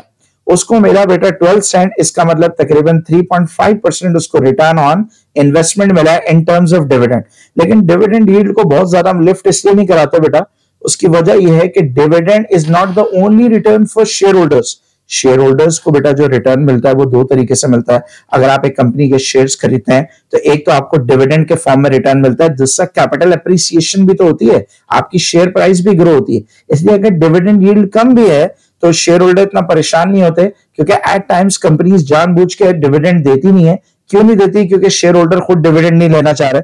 अब सवाल ये आता है, सर, ऐसा कौन सा शेयर होल्डर है जिसको डिविडेंड दो और वो ना ले? बेटा, उसकी वजह यह है कि बाद डिविडेंड पे बहुत सारी ऐसी जुरिस्डिक्शन होती हैं, ऐसे कंट्रीज़ होते हैं, जहाँ पे डिविडेंड पे जो विदहोल्डिंग टैक्स का रेट होता है वो ज़्यादा होता है और जो कैपिटल गेन पे टैक्स होता है वो कम होता है। तो शेयर होल्डर इंटेंशनली कहता है कि, भाई, आप हमें डिविडेंड ना दो, आपकी बड़ी मेहरबानी। आप जितना भी पैसा कमा रहे हो, वो दोबारा री करते जाओ। उसी कॉज के लिए, उसी बिज़नेस के लिए और फिर क्या होगा कि जब हमें ज़रूरत पड़ेगी तो हम अपना डिविडेंड खुद बना लेंगे। कैसे होम मेड डिविडेंड वाला कॉन्सेप्ट होता है कि हम जो है वो शेयर्स बेच के अपना डिविडेंड खुद बना लेंगे। सही है? और और भी कुछ रीजन होते हैं कि जो लॉन्ग टर्म इन्वेस्टर्स होते हैं बाबे शाबे जो बड़े बड़े हैं, सही है? तो वो उन लोगों का घर जो है वो डिविडेंड पे नहीं चल रहा होता। तो इसलिए वो नहीं चाहते डिविडेंड लेना, वो चाहते हैं, यार, हमें चिल्लर नहीं चाहिए, ये सारा पैसा रीइन्वेस्ट करो। और फिर जब कंपनी ग्रो हो जाएगी प्राइस अच्छी तगड़ी प्राइस हो जाएगी तो जब हमें ज़रूरत होगी, हम सारा डिविडेंड खुद वसूल कर लेंगे शेयर्स बेच के। नेक्स्ट रिक्वायरमेंट पे जाते हैं बेटा नेक्स्ट क्वेश्चन में नेक्स्ट रिक्वायरमेंट क्या है? गेयरिंग रेशो गेयरिंग का फॉर्मूला क्या होता है बेटा? बड़ा सिंपल सा फॉर्मूला गेयरिंग का फॉर्मूला होता है sir fix cost capital upon total capital multiply by hundred fix cost capital बेटा, वो कैपिटल होता है जिसमें हमें फिक्स रिटर्न देना होता है। जैसा कि हमारा हो गया डिवेंचर्स हो गए, जैसे कि बैंक लोन हो गया, या जैसे कि प्रेफरेंस शेयर्स हो गए। इन सब के ऊपर जो मैंने आपको बताया, बेटा फिक्स रिटर्न देना पड़ता है तो ये फिक्स कॉस्ट कैपिटल होता है। तो बेटा, आप क्वेश्चन में देखते हैं कि क्या हमें यहाँ पे कोई फिक्स कॉस्ट कैपिटल दिया है? बिल्कुल, यहाँ पे बेटा लोन या डिवेंचर्स दिया हुआ है फिक्स कॉस्ट कैपिटल है, कितना? वन लाख डॉलर एक ही है बेटा फिक्स कॉस्ट कैपिटल हम ये लिख देंगे वन लाख डॉलर डिनोमिनेटर में क्या आ जाता है बेटा? कैपिटल एम्प्लॉयड कैपिटल एम्प्लॉयड में बेटा फिक्स कॉस्ट कैपिटल जो डिवेंचर या लोन है, वो भी आ जाएगा और जो इक्विटी एंड रिज़र्व है, वो भी आ जाएँगे। इक्विटी एंड रिज़र्व में बेटा एक ऑर्डनरी शेयर कैपिटल हो जाएगा, कितना? Eight hundred thousand dollar reserve में और क्या बेटा? शेयर प्रीमियम है तो वो भी आ जाएगा। रिवेल्यूशन रिज़र्व है तो वो भी आ जाएगा और रिटेन अर्निंग भी आ जाएगी। तो ये सारी चीज़ें बेटा हम ऐड कर लेंगे डिनोमिनेटर में सारे रिज़र्व ऐड कर लेंगे। तो इक्विटी एंड रिज़र्व को अगर हम ऐड करते हैं तो टोटल बिज़नेस में इतना कैपिटल लगा हुआ है, जिसमें से शेयर होल्डर का सॉरी जो आउटसाइडर्स हैं, उनका कैपिटल कितना है? वन लाख सही है? जो कि डिवेंचर्स है। तो बेटा ये जो परसेंटेज आ रही है 9.5 परसेंट आ रही है तकरीबन टू बी प्रिसाइज 9.49 परसेंट अगर हम टू डेसिमल प्लेस को कंसिडर करें। तो सर गियरिंग से होता क्या है? गियरिंग अगर एक्सेसिव हो तो अच्छी नहीं होती। तो सर एक्सेसिव गियरिंग कितनी होती है? 50 परसेंट जो है बेटा, उससे ज़्यादा अगर एक्सेसिव गियरिंग मानी जाती है और 50 परसेंट से कम हो गियरिंग तो कोई परेशानी वाली बात नहीं होती। तो यहाँ पे अगर आप देखा जाए तो टेन परसेंट से भी कम है तो ये जो है ना वो आटे में नमक के बराबर समझ लें कि गियरिंग है तो इतनी परेशान कौन बात नहीं है। अगर गियरिंग बहुत ज़्यादा होती है तो इसका मतलब रिस्क बहुत एक्सेसिव होता है कि यार बिज़नेस जो है वो सर्विस ना कर पाए अपनी डेट को और बिज़नेस जो है वो बैंक हो जाए बैंक फ़ाइल कर दे। नेक्स्ट है बेटा रिटर्न ऑन कैपिटल एम्प्लॉयड तो बेटा अगर देखते हैं रिटर्न ऑन कैपिटल एम्प्लॉयड का क्या फॉर्मूला होता है? R O CE return on capital employed का बेटा एक अच्छा सा फॉर्मूला है, जिसमें हम प्रॉफिट जो लेते हैं, बेटा ऑपरेटिंग प्रॉफिट या प्रॉफिट फ्रॉम ऑपरेशंस या जिसको प्रॉफिट बिफोर इंटरेस्ट कहते हैं, वो लेते हैं। और डिनोमिनेटर में हम क्या लेते हैं, बेटा कैपिटल एम्प्लॉयड कैपिटल एम्प्लॉयड में अगेन अपना पैसा भी आ जाता है, गैरों का पैसा भी आ जाता है। सवाल ये आता है कि प्रॉफिट फॉर द ईयर हम निकाल चुके हैं, बिल्कुल। अगर आप देखिए रिटेन अर्निंग में हमने डिविडेंड एड बैक कर लिया था तो ये हमारे पास आ रहा था प्रॉफिट फॉर द ईयर तो sir profit for the year तो आ गया। अब इंटरेस्ट का क्या सीन है? क्या इस सवाल में बेटा कोई इंटरेस्ट दिया हुआ बिल्कुल। बेटा, अगर आप देखें वन लाख के डिवेंचर्स हैं, जिसपे फाइव परसेंट इंटरेस्ट है, सही है। और ये हमने डिवेंचर लिए कब है बेटा? ये हमने लिए जुलाई में। और ईयर एंड कब हो रहा है बेटा? ईयर एंड हो रहा है दिसंबर तो इसका मतलब बेटा जुलाई टू दिसंबर अभी सिर्फ़ सिक्स मंथ्स हुआ है लोन लिए हुए। तो इंटरेस्ट भी लगेगा हाफ़ ईयर का सिक्स मंथ्स का। तो बेटा वन लाख का अगर हम फाइव परसेंट लगाए तो ये फाइव थाउज़ेंड आ जाएगा। और इसका हाफ़ कर दें तो two thousand five hundred interest होगा टू बी प्रिसाइज तो हम इंटरेस्ट को एड बैक कर रहे हैं।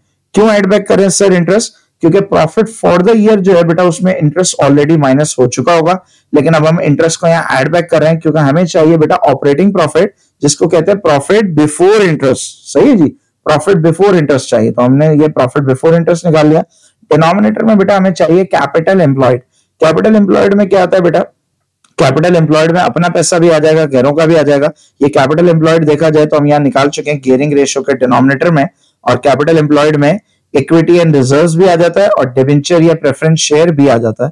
तो बेटा ये ऑपरेटिंग प्रॉफिट है डिनोमिनेटर में कैपिटल एम्प्लॉयड आ रहा है seven point O seven percent अगर एग्जामिनर आपसे कहता है रिटर्न ऑन इक्विटी निकालो तो डिनोमिनेटर में सिर्फ़ आ जाता है शेयर होल्डर फंड जो कि इक्विटी एंड रिज़र्व होता है। और प्रॉफिट भी बेटा कौन सा आता है? फिर प्रॉफिट फॉर द ईयर आता सही? अगर डिनोमिनेटर में सबका पैसा अपना और गैरों का दोनों का तो प्रॉफिट भी टोटल होना चाहिए बिफोर इंटरेस्ट अगर डिनोमिनेटर में से ओनर का पैसा है तो प्रॉफिट भी वो होना चाहिए जो हलाल प्रॉफिट है आफ्टर इंटरेस्ट सही है तो ये आ गया रिटर्न ऑन कैपिटल एम्प्लॉयड जितना रिटर्न ऑन कैपिटल एम्प्लॉयड बेटा ज़्यादा उतना बिज़नेस के लिए अच्छा है। आरओसी के बाद बेटा नेक्स्ट रिक्वायरमेंट क्या आगे कुछ डेटा दिया हुआ है। इंडस्ट्री के एवरेज दिए हुए हैं फॉर 22 और industry average price earning ratio चल रहा है 16 टाइम्स सही, और गेयरिंग चल रहा है इंडस्ट्री एवरेज 25 टाइम्स हमें एनालाइज करनी है परफॉर्मेंस एक्सपीएलसी की कंपेयर करना इंडस्ट्री एवरेज के साथ आसान है। अगर आप देखो, हमारा जो प्राइस अर्निंग रेशियो वो कितना है हमारी कंपनी का, वो आ रहा है बेटा आपका 18 टाइम्स 18.6 लेकिन उनका कितना आ रहा है? इंडस्ट्री में ऑन एवरेज सिक्सटीन टाइम्स तो हमारा इंडस्ट्री से भी ज़्यादा है और जो टेन टाइम्स का बेंच होता है, उससे भी ज़्यादा है। तो बेटा प्राइस अर्निंग रेशो ज़्यादा होना अच्छा है, मैंने आपको बताया। इससे पता लगता है शेयर होल्डर को कितना कॉन्फिडेंस है कंपनी को लेकर कंपनी की अर्निंग्स को लेकर। तो एग्जामिनर के कुछ कमेंट्स पढ़ते बेटा? एग्जामिनर ने क्या कमेंट्स दिए एक्सपीएलसी जो है, उसका बेटर पी रेशो है 18 टाइम्स एज कंपेयर टू जो इंडस्ट्री एवरेज है, वो कितना है? सिर्फ़ 16 टाइम्स दिस वुड इंडिकेट क्या इंडिकेट कर रहा है बेटा? शेयर होल्डर को कॉन्फिडेंस है कंपनी के ऊपर कंपनी के ग्रोथ प्रोस्पेक्ट्स अच्छे हैं that investors have more confidence in the company सही हमारे कंपनी के इन्वेस्टर्स का कॉन्फिडेंस ज़्यादा एज कंपेयर टू जो ओवरऑल इंडस्ट्री के ऊपर लोगों को कॉन्फिडेंस है। इट में indicate the share price of XPLC have been overvalued compare to the share price of other companies इसने ये भी बताया कि हमारी प्राइस ऐसा लग रहा है ओवर प्राइस्ड है। ओवर प्राइस का मतलब यह है कि अगर मार्केट में अर्निंग से 16 गुना ज़्यादा शेयर प्राइस होती है तो हमारी जो शेयर प्राइस अर्निंग से 18 टाइम्स ज़्यादा तो हम ये भी एक इससे एक नेगेटिव पॉइंट आप कह सकते हैं कि हमारी शेयर प्राइस थोड़ी ओवर वैल्यू हुई हुई है। सही है? तो अगर अगर इन्वेस्टर या कोई एनालिस्ट इस कंपनी के शेयर खरीद रहा होगा तो इस वक्त वो शेयर खरीदेगा नहीं। इस वक्त वो शेयर बेचेगा। क्यों? बोलेगा यार ये प्राइस ओवर वैल्यू हुई है। तो उसके अंदाजे के मुताबिक ये प्राइस फ्यूचर में कम हो सकती है। सही? ओवर वैल्यू हुई हुई। It also mean that investors are willing to pay a higher share price in the expectation of future earnings growth इसका मतलब बेटा शेयर होल्डर को ये कॉन्फिडेंस uh, है ये बिलीव है कि कंपनी की प्राइस फ्यूचर में और बढ़ेगी, इसलिए वो ज़्यादा पैसों में वो शेयर खरीदने के लिए तैयार हुआ हुआ है। तो ये होता है बेटा आपका प्राइस अर्निंग रेशो एक और चीज़ है जिसके ऊपर हमने बात करनी है गेयरिंग रेशो गेयरिंग हमने बताया बेटा कि जो टोटल कैपिटल है, उसमें से बाहर वालों का कैपिटल कितना है तो ये होता है गेयरिंग और गेयरिंग जो है वो कम होनी चाहिए और बहुत ज़्यादा अगर इस्लामिक परस्पेक्टिव से देखें तो गियरिंग होनी नहीं चाहिए। लेकिन अगर बिज़नेस या कमर्शियल परस्पेक्टिव से देखें तो गेयरिंग अच्छी होती है। गेयरिंग अच्छी क्यों होती है सर क्योंकि गियरिंग से जो हम बात कर रहे हैं हम मुराद है हमारी कि एक्सटर्नल अमाउंट कितना लगा हुआ है बिज़नेस में। और आपको पता है रिस्क जो है, वो शेयर होल्डर्स ज़्यादा रिस्क ले रहे होते हैं और डिवेंचर होल्डर्स या बैंक लोन पे रिस्क कम होता है। तो जो रिस्क कम ले रहे हैं, वो रिटर्न भी उनको कम देना पड़ता है। इसीलिए जो डेट फाइनेंस होता है, वो चीपर होता है as compare to equity finance और दूसरी बात ये होती है बेटा कि अगर हम जो है, वो डेट के ऊपर पैसा ले रहे हैं तो जो डेट है, वो एक अलाउबल एक्सपेंस है। तो टैक्स से उसमें सेविंग्स होती हैं। जैसे आपको पता है कि अगर हम जो है वो लोन लेते हैं तो उस पर इंटरेस्ट देते हैं तो उससे हमारा टैक्स बच जाता है। उस अमाउंट के ऊपर हमें टैक्स नहीं देना पड़ता। लेकिन अगर हम ड्रॉइंग करते हैं या डिविडेंड देते हैं तो वो एक टैक्स अलाउबल एक्सपेंस नहीं है। तो गियरिंग अच्छी है, लेकिन गियरिंग एक्सेसिव नहीं होनी चाहिए। मोर देन फिफ्टी परसेंट नहीं होनी चाहिए less than fifty percent on हम, हमारी already less than ten percent है तो कोई परेशानी वाली बात नहीं है। इंडस्ट्री में गियरिंग का स्टैंडर्ड ज़्यादा है बहुत ज़्यादा गियरिंग होती है ट्वेंटी फाइव परसेंट हमारी उससे भी कम है तो कोई परेशानी वाली बात तो हमारे लिए है नहीं। पढ़ लेते बेटा, क्या किया एग्जामिनर ने कॉमेंट एक्सपीएलसी की लोअर गियरिंग है as compare to industry average industry में 25 परसेंट गियरिंग चलती है, हमारी उससे कम है। और वो कह रहा है, अगर लो गियरिंग है तो वो परसीव किया जाता है, ऐसा लो रिस्क बिज़नेस और अगर हाईली गेयर्ड होगा तो ऑब्वियसली बात है रिस्क ज़्यादा होगा। गियरिंग की ऐसी मिसाल है, गाड़ी की एक्सलेशन है गाड़ी अगर उसमें स्पीड ही ना हो तो वो गाड़ी बेकार है। सही है स्पीड होनी चाहिए, लेकिन स्पीड इतनी भी ना हो कि वो गाड़ी कंट्रोल ही ना कर पाए और ओवर स्पीडिंग की वजह से, कहते हैं ना स्पीड थ्रिल्स बट किल्स तो वही बात है।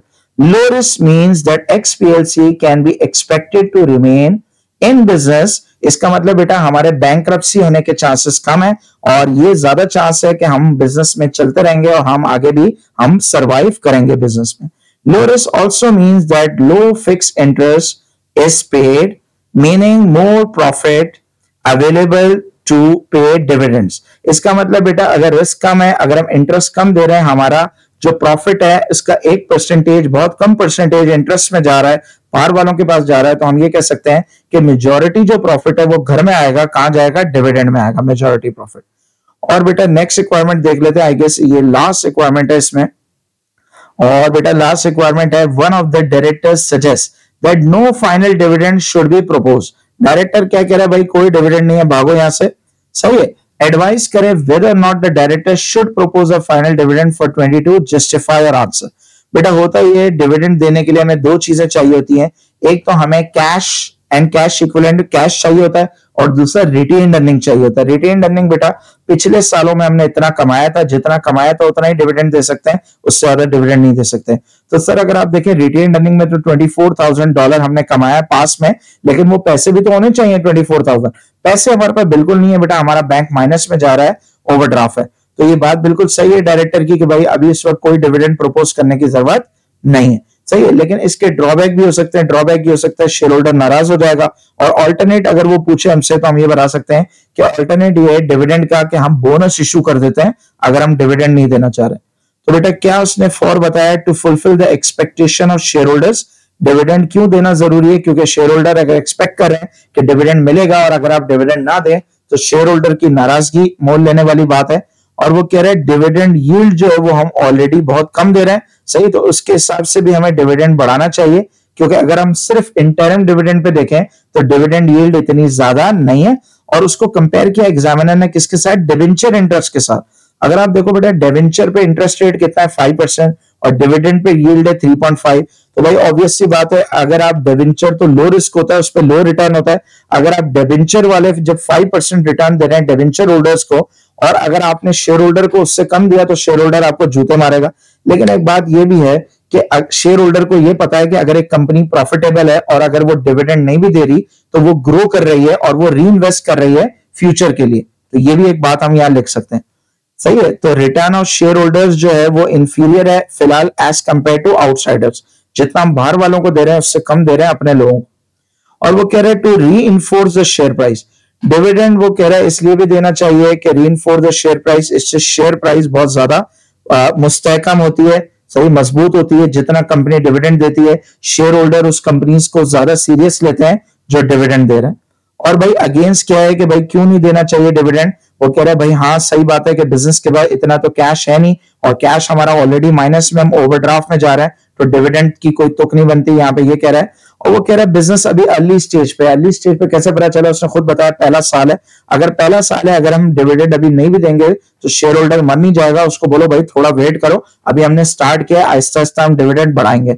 और बोलता है फ्यूचर को ऊपर बिज़नेस को ज़्यादा फोकस करना चाहिए, अपने फ्यूचर को, ना कि जो है वो डिविडेंड उड़ाना शुरू कर दें। और वो कह रहा है प्राइस अर्निंग रेशियो हमारा ऑलरेडी ज़्यादा है तो शेयर होल्डर को इतनी तकलीफ़ नहीं है फ़िलहाल, क्योंकि अगर शेयर होल्डर इतना नाराज़ होता तो प्राइस अर्निंग रेशियो इतना ज़्यादा कंपनी का ना होता। Suggest that the business is expected to be growth prospect तो कह रहा है बिज़नेस के लिए ग्रोथ प्रोस्पेक्ट बहुत अच्छा है, और शेयर होल्डर्स हो सकता है कि इस फ़िलहाल इसको भूल जाए। शॉर्ट टर्म डिविडेंड को in exchange for future long term gain तो अगर आप समझते हैं कि भाई ऐसा होगा, और यहाँ पे इन्होंने एडवाइस मांगी है आपसे या नहीं मांगी है, एक बार ये भी देख ले, क्योंकि अगर एडवाइस बोल रहे हैं, जी एडवाइस का बेटा एक मार्क आपको लाजमी मिलेगा तो एडवाइस आपने कभी भी भूलनी नहीं है। सही है? तो आप दोनों के इक्वल पॉइंट लिख दें और एक मार्क जो है वो आपको एडवाइस का मिल जाएगा। अच्छा बेटा, अब हम जा रहे हैं थर्ड क्वेश्चन की तरफ़ और क्वेश्चन नंबर थ्री हमारे पास draft statement of financial position of T limited as at thirty first December two twenty two is as follows अगर आप देखें बेटा, हमें ड्राफ्ट अकाउंट्स दिए हुए ड्राफ्ट अकाउंट्स वो होते हैं यार जिसके अंदर अभी कोई मस्ती बाकी है, जिसके अंदर कोई एरर्स हैं जिनको हमने अभी सही करना है। बेटा, अगर आप देखें नॉन करंट एसेट्स दिए गए प्रॉपर्टी प्लांट एंड इक्विपमेंट आपको पता है कंपनी में नॉन करंट एसेट्स को ऐड करके तीनों को एक साथ लिखा जाता है प्रॉपर्टी प्लांट एंड इक्विपमेंट इसमें मोटर व्हीकल्स वगैरह सब आ सकता है, लेकिन इसका नाम यही होता है property plant and equipment then we have बेटा करंट एसेट्स इन्वेंटोरी दी हुई है trade receivable other receivable cash और बैंक को मिलाकर लिखते हैं कैश एंड कैश इक्विवेलेंट अगर आप देखें इक्विटी एंड रिज़र्व में शेयर कैपिटल है शेयर प्रीमियम रीवैल्यूएशन रिज़र्व और रिटेन अर्निंग्स और टोटल इक्विटी है जिसको टोटल शेयर होल्डर फंड भी कहते हैं। फिर बेटा करंट लाइबिलिटीज में हमारे पास ट्रेड पेबल्स है अदर पेबल्स है, और टोटल लाइबिलिटीज भी हमें गिवन है। और बेटा the following information also available अगर आप देखें, यहाँ पे कुछ नोट्स दिए हुए वन टू थ्री और रिक्वायरमेंट बेटा नोट फोर फाइव भी दिया बस सही है। और बेटा, ये पेपर हमारा यहाँ पर खत्म हो गया इंसर्ट अब हम जाते हैं इसके क्वेश्चन पेपर के ऊपर और देखते हैं बेटा रिक्वायरमेंट्स क्या है यहाँ पे क्वेश्चन नंबर थ्री की। कह sir explain with reference to relevant international accounting standards IAS का रेफरेंस देना है the appropriate accounting treatment for the items in information four तो इंफॉर्मेशन फोर में भाई जो मस्ती है, उसके बारे में हमें बताना है कि नोट फोर में हमने क्या किया नोट फोर पढ़ लेते बेटा। कह रहा sir carrying value of the motor van is twenty seven thousand carrying value क्या होती है, सर? नेट बुक वैल्यू कैसे आती है? कॉस्ट में से अगर अक्यूमुलेटेड डिप्रिसिएशन माइनस करें तो क्या आ जाती है? Carrying value, also known as NBV net book value, was included in the value of non-current assets on 31st December. सही है बेटा, जो closing property plant and equipment दिया हुआ उसमें मोटर वैन इंक्लूडेड है। कह रहे मोटर वैन को हमने रिव्यू किया on that date it had a value in use तो बेटा वैल्यू इन यूज़ क्या होती है? इसका मतलब अगर हम इस वैन को यूज़ करें तो इसकी लाइफ टाइम से हम कितना फ़ायदा उठा सकते हैं बेटा? Twenty three thousand two hundred और वो कह रहा है, अगर हम इसको सोल्ड कर दें सेल कर दें तो कितने में बिकेगी? Twenty four thousand five hundred लेकिन सेलिंग कॉस्ट बेटा हमें बर्दाश्त करनी पड़ेगी एटीन हंड्रेड तो बेसिकली बेटा यहाँ पे जो हमें एडजस्टमेंट करनी है, वो है आई एस थर्टी सिक्स जिसको क्या जिसका नाम है एम्पेयरमेंट ऑफ़ एसेट्स इंपेयरमेंट क्या होता है बेटा? जब भी आपके नॉन करंट एसेट की वैल्यू में परमानेंट डिक्लाइन हो जाए ड्यू टू सम रीजन तो वो क्या कहा जाता है सर इंपेयरमेंट तो हर साल बेटा हमने अपने नॉन करंट एसेट्स की इंपेयरमेंट टेस्टिंग करनी पड़ती है, चाहे वो टेंजिबल एसेट हो या इनटेंजिबल हो, और ये इंपेयरमेंट होती है। इंपेयरमेंट कैसे फाइंड करते हैं बेटा? दो वैल्यूज़ को हम कंपेयर करते हैं। एक होती है कैरिंग वैल्यू जो कि नेट बुक वैल्यू होती है, और एक होती है हमारी रिकवरेबल अमाउंट क्या नाम होता है सर रिकवरेबल अमाउंट अब रिकवरेबल अमाउंट क्या होता है कि इस एसेट से मैक्सिमम रिकवर कितना हो सकता है? अगर कैरिंग वैल्यू ज़्यादा है बेटा, और रिकवर हो सकता है कम तो जितनी कैरिंग वैल्यू ज़्यादा है कैरिंग वैल्यू को हम कम करके रिकवरेबल अमाउंट पे ले आएँगे। और रिकवरेबल अमाउंट कैसे आएगा सर दो वैल्यूज़ में से हायर वैल्यू उठाएँगे। एक होती है sir value in use use करके कितना फ़ायदा मिलेगा? और एक होती है हमारी एनआरवी नेट रिलाइजेबल वैल्यू तो अगर आप देखें बेटा, इस सवाल में वैल्यू इन यूज़ है twenty three thousand two hundred और एनआरवी कैसे निकालेंगे बेटा? सेलिंग प्राइस लेंगे twenty four five hundred minus कर देंगे सेलिंग कॉस्ट एटीन हंड्रेड तो अगर आप देखो बेटा, इसकी एनआरवी है नॉन करंट एसेट की मोटर वैन की twenty two thousand seven hundred लेकिन इसकी वैल्यू इन यूज़ है twenty three thousand two hundred तो बेटा हायर वैल्यू कौन सी है? हायर वैल्यू है twenty three thousand two hundred तो सवाल ये आता है, इसको बेचने में फ़ायदा है या यूज़ करने में फ़ायदा है? यूज़ करने में फ़ायदा है, क्योंकि वैल्यू इन यूज़ ज़्यादा है. अब वैल्यू इन यूज़ जो है, वो इस क्वेश्चन में हमारा कहलाएगा रिकवरेबल अमाउंट दोनों में से हायर वैल्यू तो रिकवर कितना हो सकता है बेटा? Twenty three thousand two hundred लेकिन हमने एसेट को कितने में रखा हुआ है? ट्वेंटी सेवन इसका मतलब भाई हमने अच्छा काम नहीं किया। हमने एसेट को ज़्यादा अमाउंट पे रखा हुआ है, जितनी उसकी औकात है। तो हम एक काम करेंगे एसेट को राइट डाउन कर देंगे। ट्वेंटी सेवन थाउज़ेंड से इसको कहाँ ले आएँगे? Twenty three thousand two hundred पे लाएँगे। तो कितना डिफरेंस आ रहा है बेटा? थर्टी एट हंड्रेड तो इसका मतलब थर्टी एट हंड्रेड से हमने एसेट को राइट डाउन करना चाहिए और ये इंपेयरमेंट है और इसको इनकम स्टेटमेंट में अगर एक्सपेंस भी बुक करेंगे या अगर इनकम स्टेटमेंट बना चुके तो रिटेन अर्निंग में एडजस्टमेंट कर देंगे, बात एक ही है। सही है, लेकिन अगर इनकम स्टेटमेंट नहीं बनाई तो फिर हम रिटेन अर्निंग में नहीं ले जा सकते। हमें इनकम स्टेटमेंट के थ्रू ले जाना पड़ेगा। और एसेट को भी राइट डाउन कर देंगे एसएफपी में प्रॉपर्टी प्लांट एंड इक्विपमेंट तो बेटा एग्जामिनर के कोई कमेंट्स पढ़ लेते एग्जामिनर ने क्या कमेंट्स दिए? कह रहे सर रिकवरेबल अमाउंट जो होता है, दोनों में से हायर वैल्यू होती है। किन दो वैल्यू में से?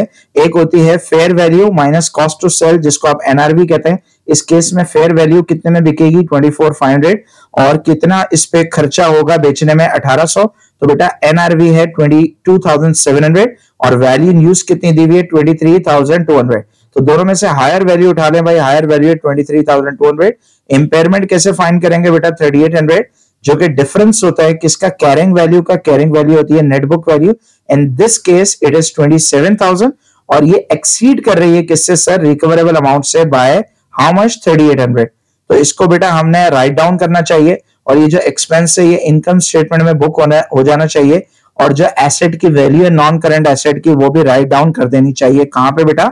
हमारी एसओ एफ़ पी के अंदर। तो बेटा ये होता है I S thirty six impairment of assets next देखते हैं बेटा नेक्स्ट रिक्वायरमेंट में क्या पूछता है एग्जामिनर एक तो इसने वर्किंग फोर करवाई हमें नोट फोर और वो कह रहा है नोट फाइव के बारे में बताओ क्या होगा। नोट फाइव को पढ़ते क्या कह रहे हैं सर कह रहे हैं इन दिसंबर में एक एम्प्लॉय है, वो इंजर्ड हो गया ऑफ़िस प्रेमिसेस में, भाई अल्लाह खैर करे। और वो कह रहे हैं legal proceedings have started legal proceeding start हो गई कि वो जो एम्प्लॉय होगा, उसने या उसके घर वालों ने केस कर दिया हमारी कंपनी के ऊपर। कि भाई आप लोग अपने स्टाफ का ख्याल नहीं रखते। कंपनी का जो लॉयर है, उसने एडवाइस की है कि T limited will probably be found liable and the compensation would be nine thousand तो लॉयर कह रहा है हाँ भाई, ये तो बहुत ज़्यादा सीवियर हुआ है और उसका सर्वर फट गया और आपको जो है वो नौ हज़ार डॉलर कंपेंसेशन देनी पड़ेगी। उसके एक्सपीरियंस के हिसाब से लॉयर का जो है ना वो एक्सपीरियंस ये कहता है। As the case will be heard in court in April इसका मतलब उस फैसले की अभी सुनवाई नहीं हुई और वो कब होगी? अगले साल होगी, अप्रैल में। और अभी हम खड़े में दिसंबर 22 में।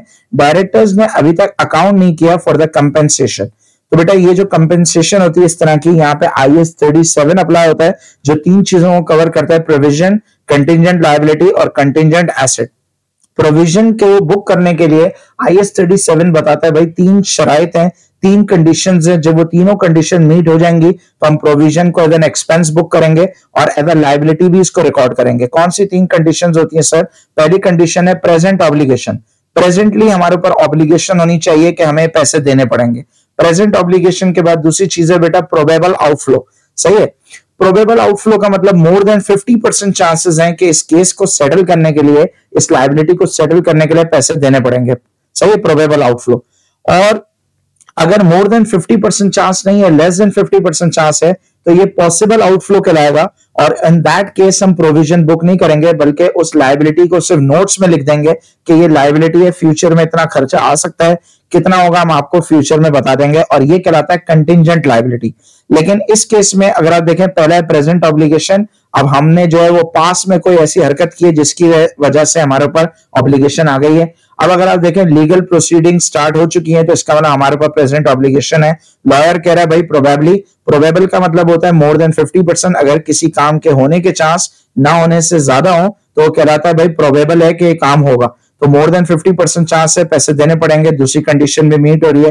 रिलायबल एस्टिमेट भी मीट हो रहा है कि भाई लॉयर ने खुद बता दिया, नौ हज़ार डॉलर जो है वो हर जाना देना पड़ेगा। उसको और उसकी फैमिली को जो उसने सफरिंग उठाई है, हमारी नेग्लिजेंस की वजह से।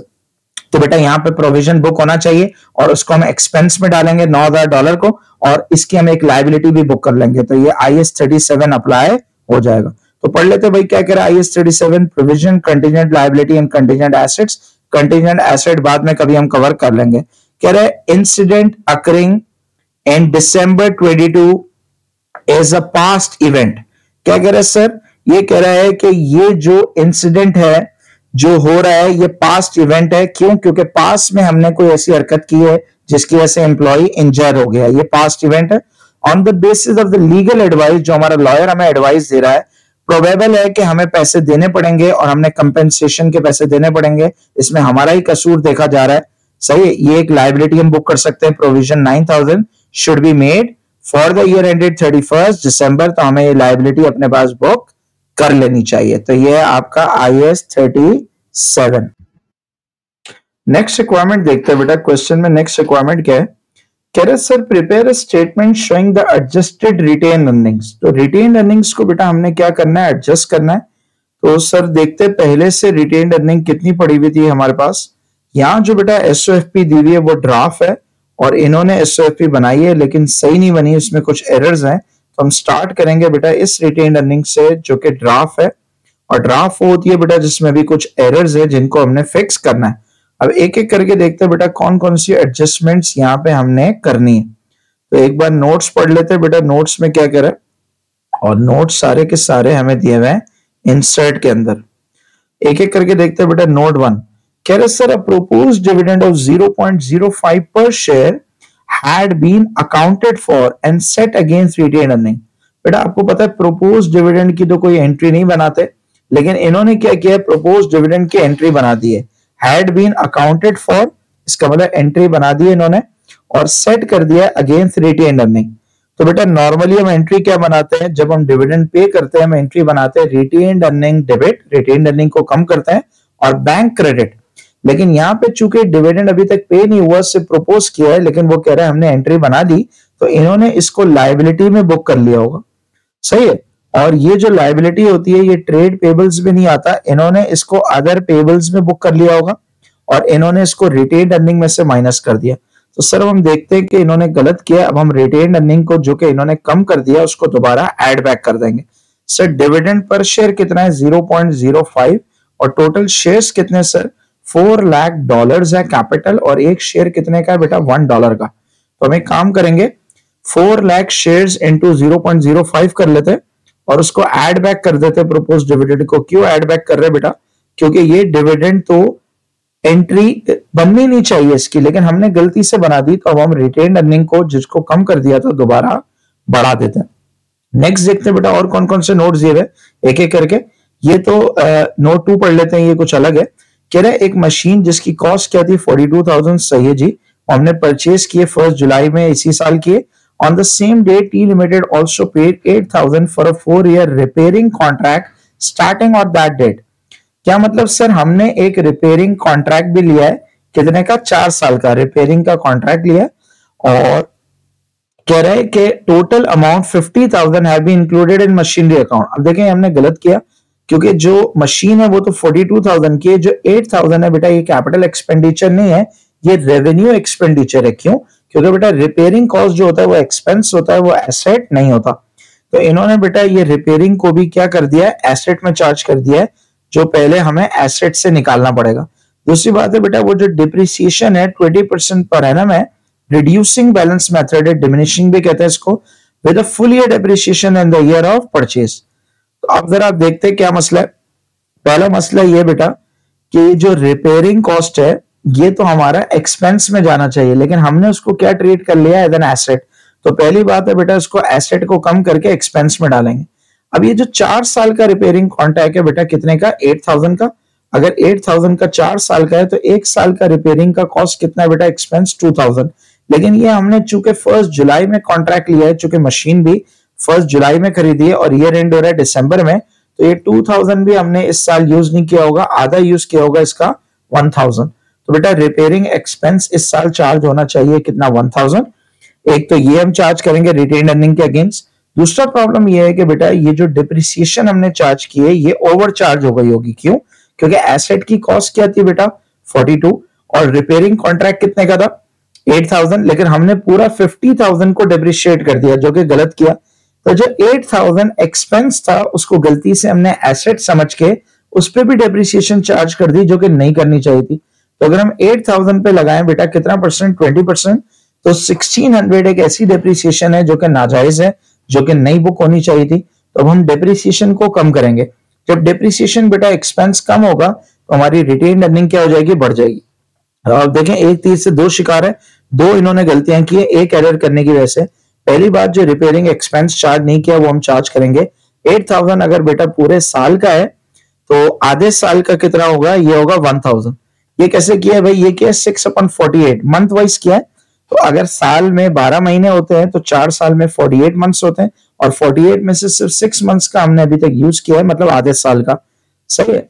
तो ये हम हाफ़ अपॉन फोर कर देते पॉइंट फाइव अपॉन फोर तो भी आंसर सेम आता। Eight thousand into point five upon four तो देखिए, ये आएगा मतलब चार साल में से आधा साल। उसके बाद बेटा जो डिप्रिसिएशन नाजायज बुक की थी, जिसकी वजह से हमारा प्रॉफिट क्या हो गया था, बढ़ गया था अब हम डिप्रिसिएशन को कम करेंगे तो हमारी रिटेन अर्निंग क्या हो जाएगी? बढ़ जाएगी। तो एट थाउज़ेंड का ट्वेंटी परसेंट कितना आ गया सर सिक्सटीन हंड्रेड आ गया बात आगे बढ़ाते बेटा, क्या कह रहे हैं? Only property of T limited was revalued upward by sixty thousand two years ago कह रहे एक ही प्रॉपर्टी है जिसको हमने दो साल पहले रीवैल्यू करके उसमें गेन बुक किया था सिक्सटी थाउज़ेंड और ये देख लेते हैं कि सवाल में गेन पड़ा हुआ है या नहीं। बिल्कुल रीवैल्यूएशन रिज़र्व पड़ा हुआ है, बेटा सिक्सटी थाउज़ेंड एंट्री क्या बनाई होगी? प्रॉपर्टी डेबिट और रीवैल्यूएशन रिज़र्व क्रेडिट ये तो सही कर लिया आपने। कह रहे this property was revalued again दोबारा प्रॉपर्टी की वैल्यू चेंज हुई है। और लेकिन दिस टाइम गेन नहीं हो रहा, बल्कि लॉस हो रहा है। कह रहे decrease in value of thirty five thousand have been set against retain earning अब देखिए होता है ये बेटा कि प्रॉपर्टी के रिवैल्यूएशन के कुछ रूल्स है। रूल ये बेटा कि जब पहली दफ़ा एसेट की वैल्यू बढ़ती है तो हम वो जो गेन है, वो इनकम स्टेटमेंट या रिटेन अर्निंग में नहीं ले जा सकते। क्योंकि वो एक अनरियलाइज गेन है, वो बुक होना चाहिए बेटा, कहाँ पे? वो बुक होना चाहिए रीवैल्यूएशन सरप्लस के अंदर रीवैल्यूएशन रिज़र्व के अंदर।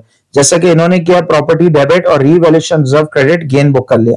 अब एक एसेट है जिसपे पहले से गेन पड़ा हुआ है, अगर उस पर लॉस होगा, फिर क्या करेंगे? बेटा, जिस एसेट पे पहले से गेन पड़ा हुआ है, अगर अब उस एसेट पे लॉस होगा तो बजाय इसके कि हम वो जो लॉस है, पूरे का पूरा इनकम स्टेटमेंट में ले जाएँ पहले हम उसको सेट ऑफ़ करेंगे अगेंस्ट रीवैल्यूएशन रिज़र्व तो अगर आप देखें, पहले से 60 का गेन पड़ा हुआ है और अब लॉस कितना हो रहा है? 35 का। तो वो जो 35 का लॉस है बेटा, वो रिटेन अर्निंग में लॉस चार्ज करने के बजाय हमें रीवैल्यूएशन रिज़र्व में चार्ज करना चाहिए। लेकिन हमने गलती से क्या किया है? वो सेट ऑफ़ कर दिया अगेंस्ट रिटेन अर्निंग तो इस केस में हमने बेटा रिटेन अर्निंग को कम कर दिया, जो कि गलत किया।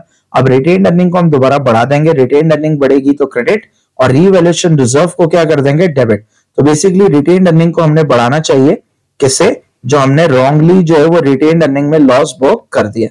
सही है जी? तो आगे बात बढ़ाते बेटा। कह रहा है, ये तो हमने पहले कर ली थी इम्पेयरमेंट थी कि एक एसेट जिसकी कॉस्ट ज़्यादा थी, और सॉरी कैरिंग वैल्यू ज़्यादा थी और रिकवरेबल अमाउंट कम था तो 3800 की इम्पेयरमेंट हमने बुक करनी है, और इम्पेयरमेंट लॉस जिससे हमारा प्रॉफिट कम होगा तो रिटेन अर्निंग भी क्या हो जाएगी बेटा? कम हो जाएगी ड्यू टू इम्पेयरमेंट लॉस और बेटा आखिरी ये भी हमने कर लिए कि एक कस्टमर ने सॉरी कस्टमर या एम्प्लॉय है। हाँ एम्प्लॉय ने हमारे ऊपर केस कर दिया और हम लाइबल है तो फ्यूचर में ऐसा लग रहा है हमें पैसे देने पड़ेंगे तो इसका हम कंपेंसेशन का एक्सपेंस बुक कर लेंगे और लाइबिलिटी भी बुक कर लेंगे। कंपेंसेशन की वजह से बेटा हमारा क्या होगा? हमारा प्रॉफिट कम हो जाएगा। तो प्रोविज़न बुक कर लेते हैं कंपेंसेशन का नाइन थाउज़ेंड और फाइनल आंसर आ रहा है बेटा रिवाइज रिटेन अर्निंग आ गई one twenty eight thousand eight hundred तो बेटा दिस इज़ द वे कि हम जो है उसको रिटेन अर्निंग को क्या करेंगे? एडजस्ट करेंगे। और बेटा नेक्स्ट रिक्वायरमेंट देख लेते हैं क्वेश्चन में। क्वेश्चन को खत्म करते हैं। नेक्स्ट रिक्वायरमेंट है बेटा, हमने बनानी है एस एडजस्टेड तो एडजस्टेड या रिवाइज एस बनानी है। एस बहुत आसान है बेटा, बचपन से बनाते हुए आ रहे हैं। कैसे बनती है जी? सबसे पहले सर एसेट्स उसके बाद नॉन करंट एसेट्स और नॉर्मली तो आपको पता है थ्री कॉलम्स बनाते हैं कॉस्ट अक्यूमुलेटेड और नेट बुक वैल्यू लेकिन होता है ये बेटा कि कंपनी के अंदर जो है वो नॉर्मली जो है, एक या दो कॉलम काफ़ी होते हैं। क्यों? क्योंकि कंपनी जो है, वो नॉर्मली डिटेल शो नहीं करती कि कॉस्ट इतना है अक्यूमुलेटेड डिप्रिसिएशन इतनी है नेट बुक वैल्यू इतनी है। अगर आप देखें, इन्होंने वन कॉलम में बनाई है, लेकिन अगर दो कॉलम करते हैं तो वो ज़्यादा बेहतर होगा। तो अगर आप देखें प्रॉपर्टी प्लांट एंड इक्विपमेंट पहले से पड़ा हुआ है कितना? फोर ट्वेंटी फाइव थाउज़ेंड अब इसमें देखते बेटा क्या क्या एडजस्टमेंट हमने करनी है प्रॉपर्टी प्लांट एंड इक्विपमेंट पे। और इसकी वर्किंग आई गेस मैंने नेक्स्ट पेज पे शो की तो देख लेते बेटा, ये रफ वर्किंग इसकी यहाँ पे शो कर देते तो बेटा पहले से कितना पड़ा हुआ है हमारे पास? Property plant and equipment four twenty five thousand अब एक एक करके एडजस्टमेंट देख लें और बता दें कौन सी एडजस्टमेंट पीपीई को अफेक्ट कर रही है? प्रॉपर्टी प्लांट एंड इक्विपमेंट को। कह रहे बेटा मशीन जो थी, वो हमने 42 की खरीदी थी। लेकिन जो है, वो हमने क्या कर दिया? रिपेयरिंग कॉस्ट को भी डाल दिया था। एसेट में जो कि गलत किया था तो हम रिपेयरिंग कॉस्ट को 8000 को हटा देंगे किसमें से? मशीन की वैल्यू में से। सही है रिपेयरिंग कॉस्ट दूसरी बात यह बेटा कि रिपेयरिंग कॉस्ट ऐड करने की वजह से एसेट की कॉस्ट बढ़ गई थी तो हमने डिप्रिसिएशन भी ज़्यादा चार्ज कर दी थी। ज़्यादा डिप्रिसिएशन चार्ज करने की वजह से नाजायज डिप्रिसिएशन चार्ज हो गई तो हमारे एसेट की वैल्यू कम हो गई थी।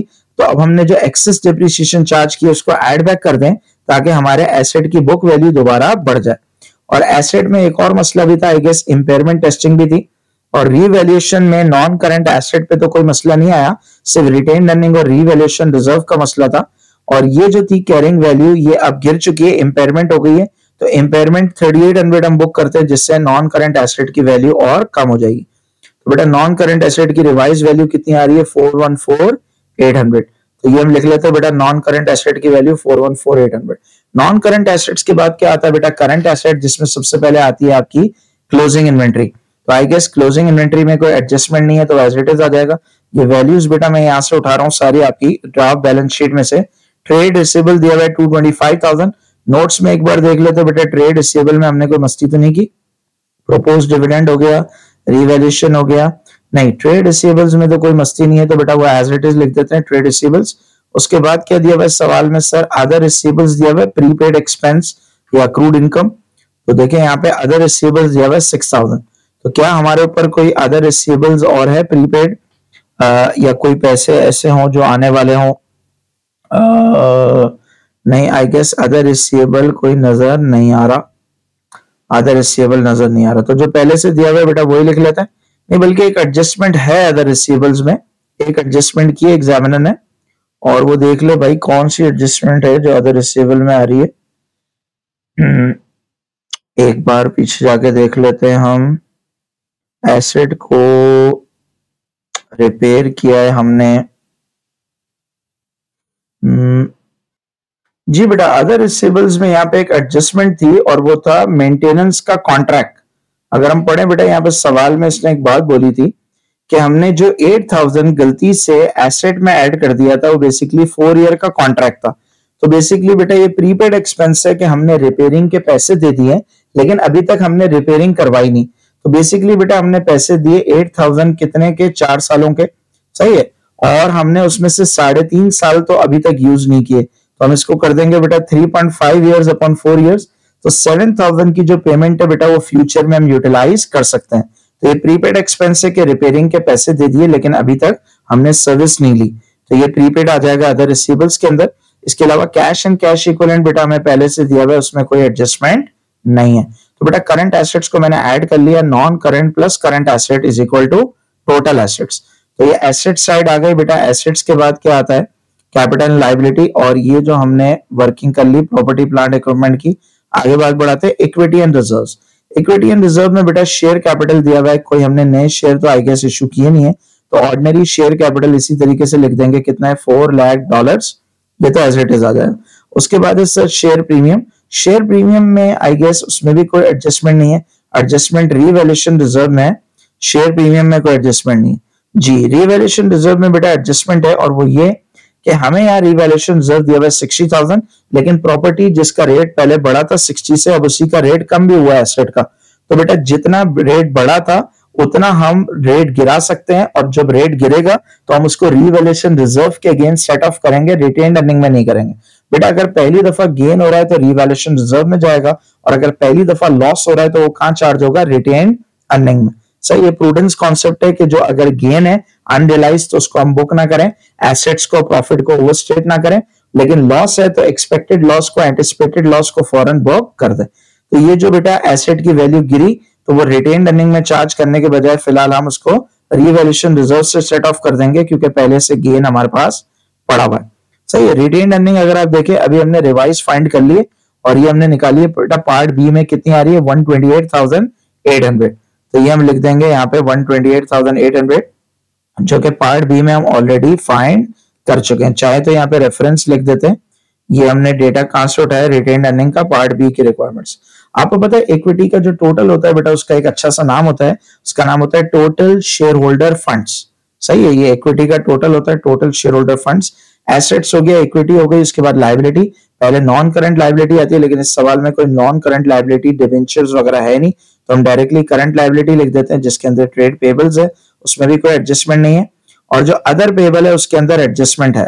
अदर पेबल में क्या एडजस्टमेंट है सर पहले से अदर पेबल दिया हुआ है थर्टी नाइन थाउज़ेंड और देखते बेटा, कोई अदर पेबल है हमारे पास? हाँ ये जो प्रोपोज डिविडेंड था बेटा, इन्होंने इसको हम अज्यूम कर रहे हैं करंट लाइबिलिटी में अदर पेबल में शो किया होगा. क्यों?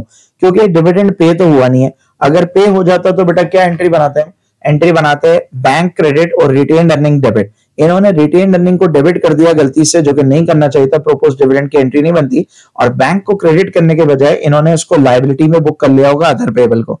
तो बेटा जितना डिविडेंड हमने बुक किया था, वो हम क्या कर देते फ़िलहाल माइनस कर देते हैं। क्योंकि डिविडेंड जो है, अगर प्रोपोज हो रहा है अनाउंस हो रहा है या डिक्लेयर हो रहा है, ये हमारे ऊपर कोई लाइबिलिटी अभी नहीं है। सिर्फ़ डिविडेंड जब पे होता है तो उस वक्त हम एंट्री बनाते हैं डायरेक्टली बैंक से, और जो प्रपोज की कोई एंट्री नहीं बनाते।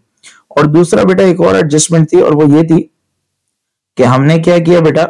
हमने यहाँ पर एक कंपेंसेशन कॉस्ट बुक की है नाइन थाउज़ेंड जो कि हमारी लाइबिलिटी है, वो भी हम क्या करेंगे? करंट लाइबिलिटी में अदर पेबल में ऐड कर देंगे प्रोविज़न फॉर कंपेंसेशन तो बेटा हम इनको ऐड कर लेते हैं। एसेट साइड हमेशा बराबर आनी चाहिए किसके? इक्विटी एंड लाइबिलिटी के। और अगर आप देखें कैपिटल लाइबिलिटी साइड भी यही आ रही है और टोटल एसेट्स भी इतना ही आ रहा है। बेटा दिस वे हमने क्या कर लिया? एस कंप्लीट कर ली और एसओएफपी हमारी बैलेंस हो गई। बेटा, एक और आई गेस रिक्वायरमेंट बाकी है क्वेश्चन में वो भी देख लेते हैं। और वो रिक्वायरमेंट क्या है हमारे पास? सॉरी ये थोड़ा सा कंफ्यूजिंग हो गया। दो दो पेपर्स करने के बाद ना। और वो सही होता था, एक ही में सब कुछ दे देना। पर तो क्या कह रहा है बेटा? आगे वो कह रहा है एक्सटर्नल ऑडिटर जो है, उसके रोल और रिस्पॉन्सिबिलिटी बतानी। तो बेटा बहुत सारे काम होते हैं एक्सटर्नल ऑडिटर के। उसका काम होता है अकाउंट्स को चेक करना एनालाइज करना और वो अपना ओपिनियन देना कि क्या accounts true and fair position show कर रहे हैं, नहीं कर रहे ये देखना कि भाई मैनेजमेंट जो है, उन्होंने जितने फिगर्स लिखे हैं, वो कोई मिसस्टेटेड फिगर तो नहीं है। सही, और वो ये भी देखेगा ऑडिटर कि जो कंपनी है, उसने जो है वो आई को फॉलो किया या नहीं किया इंटरनेशनल अकाउंटिंग स्टैंडर्ड्स और जो कंपनी का लॉ है, उसको अवॉइड किया या नहीं किया। और जो एसेट्स है, उनको सेफ़ गार्ड किया हुआ या नहीं किया हुआ, सही है तो ये सारी चीज़ों पर बात करनी जो examine the books and accounts सही बुक्स का मतलब वो जो डे बुक्स वगैरह हो गई, और अकाउंट्स इनकम स्टेटमेंट और एस एफ़ पी जो बनाइए to ensure that the financial statements comply with legal requirement law हो गया and accounting standards accounting standards को फॉलो कर रहे हैं, नहीं कर रहे to verify the value and existence of asset and liability एक तो ये एसेट एग्जिस्ट कर भी रहा है नहीं कर रहा। लाइबिलिटी एग्जिस्ट कर भी रही है, नहीं कर रही। कोई फर्जी एसेट तो नहीं डाले हुए डमी एसेट्स तो नहीं डाले हुए। और ये जो लाइबिलिटीज हैं, या एसेट्स हैं, ये वाकई में मौजूद भी है या नहीं? कि अपनी तरफ़ से तो चीज़ें नहीं डाली। और एक तो मौजूद है या नहीं, दूसरा उनकी वैल्यू भी वो है या नहीं, जो रिपोर्ट की गई। जो carry out audit test audit के बहुत सारे टेस्ट होते हैं, वो परफॉर्म करना, सही चेक करना सैम्पलिंग वगैरह होती है।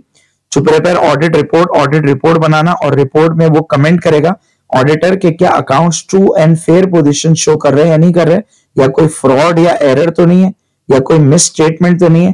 तो बेटा ये सारे काम है ऑडिटर के जो ऑडिटर करेगा during the course of audit तो आई होप बेटा आप लोगों को ये पेपर समझ में आया हो। ओके बेटा थैंक यू अल्लाह हाफिज, अपना ख्याल रखें और अच्छा स्कोर करें एग्ज़ाम के अंदर।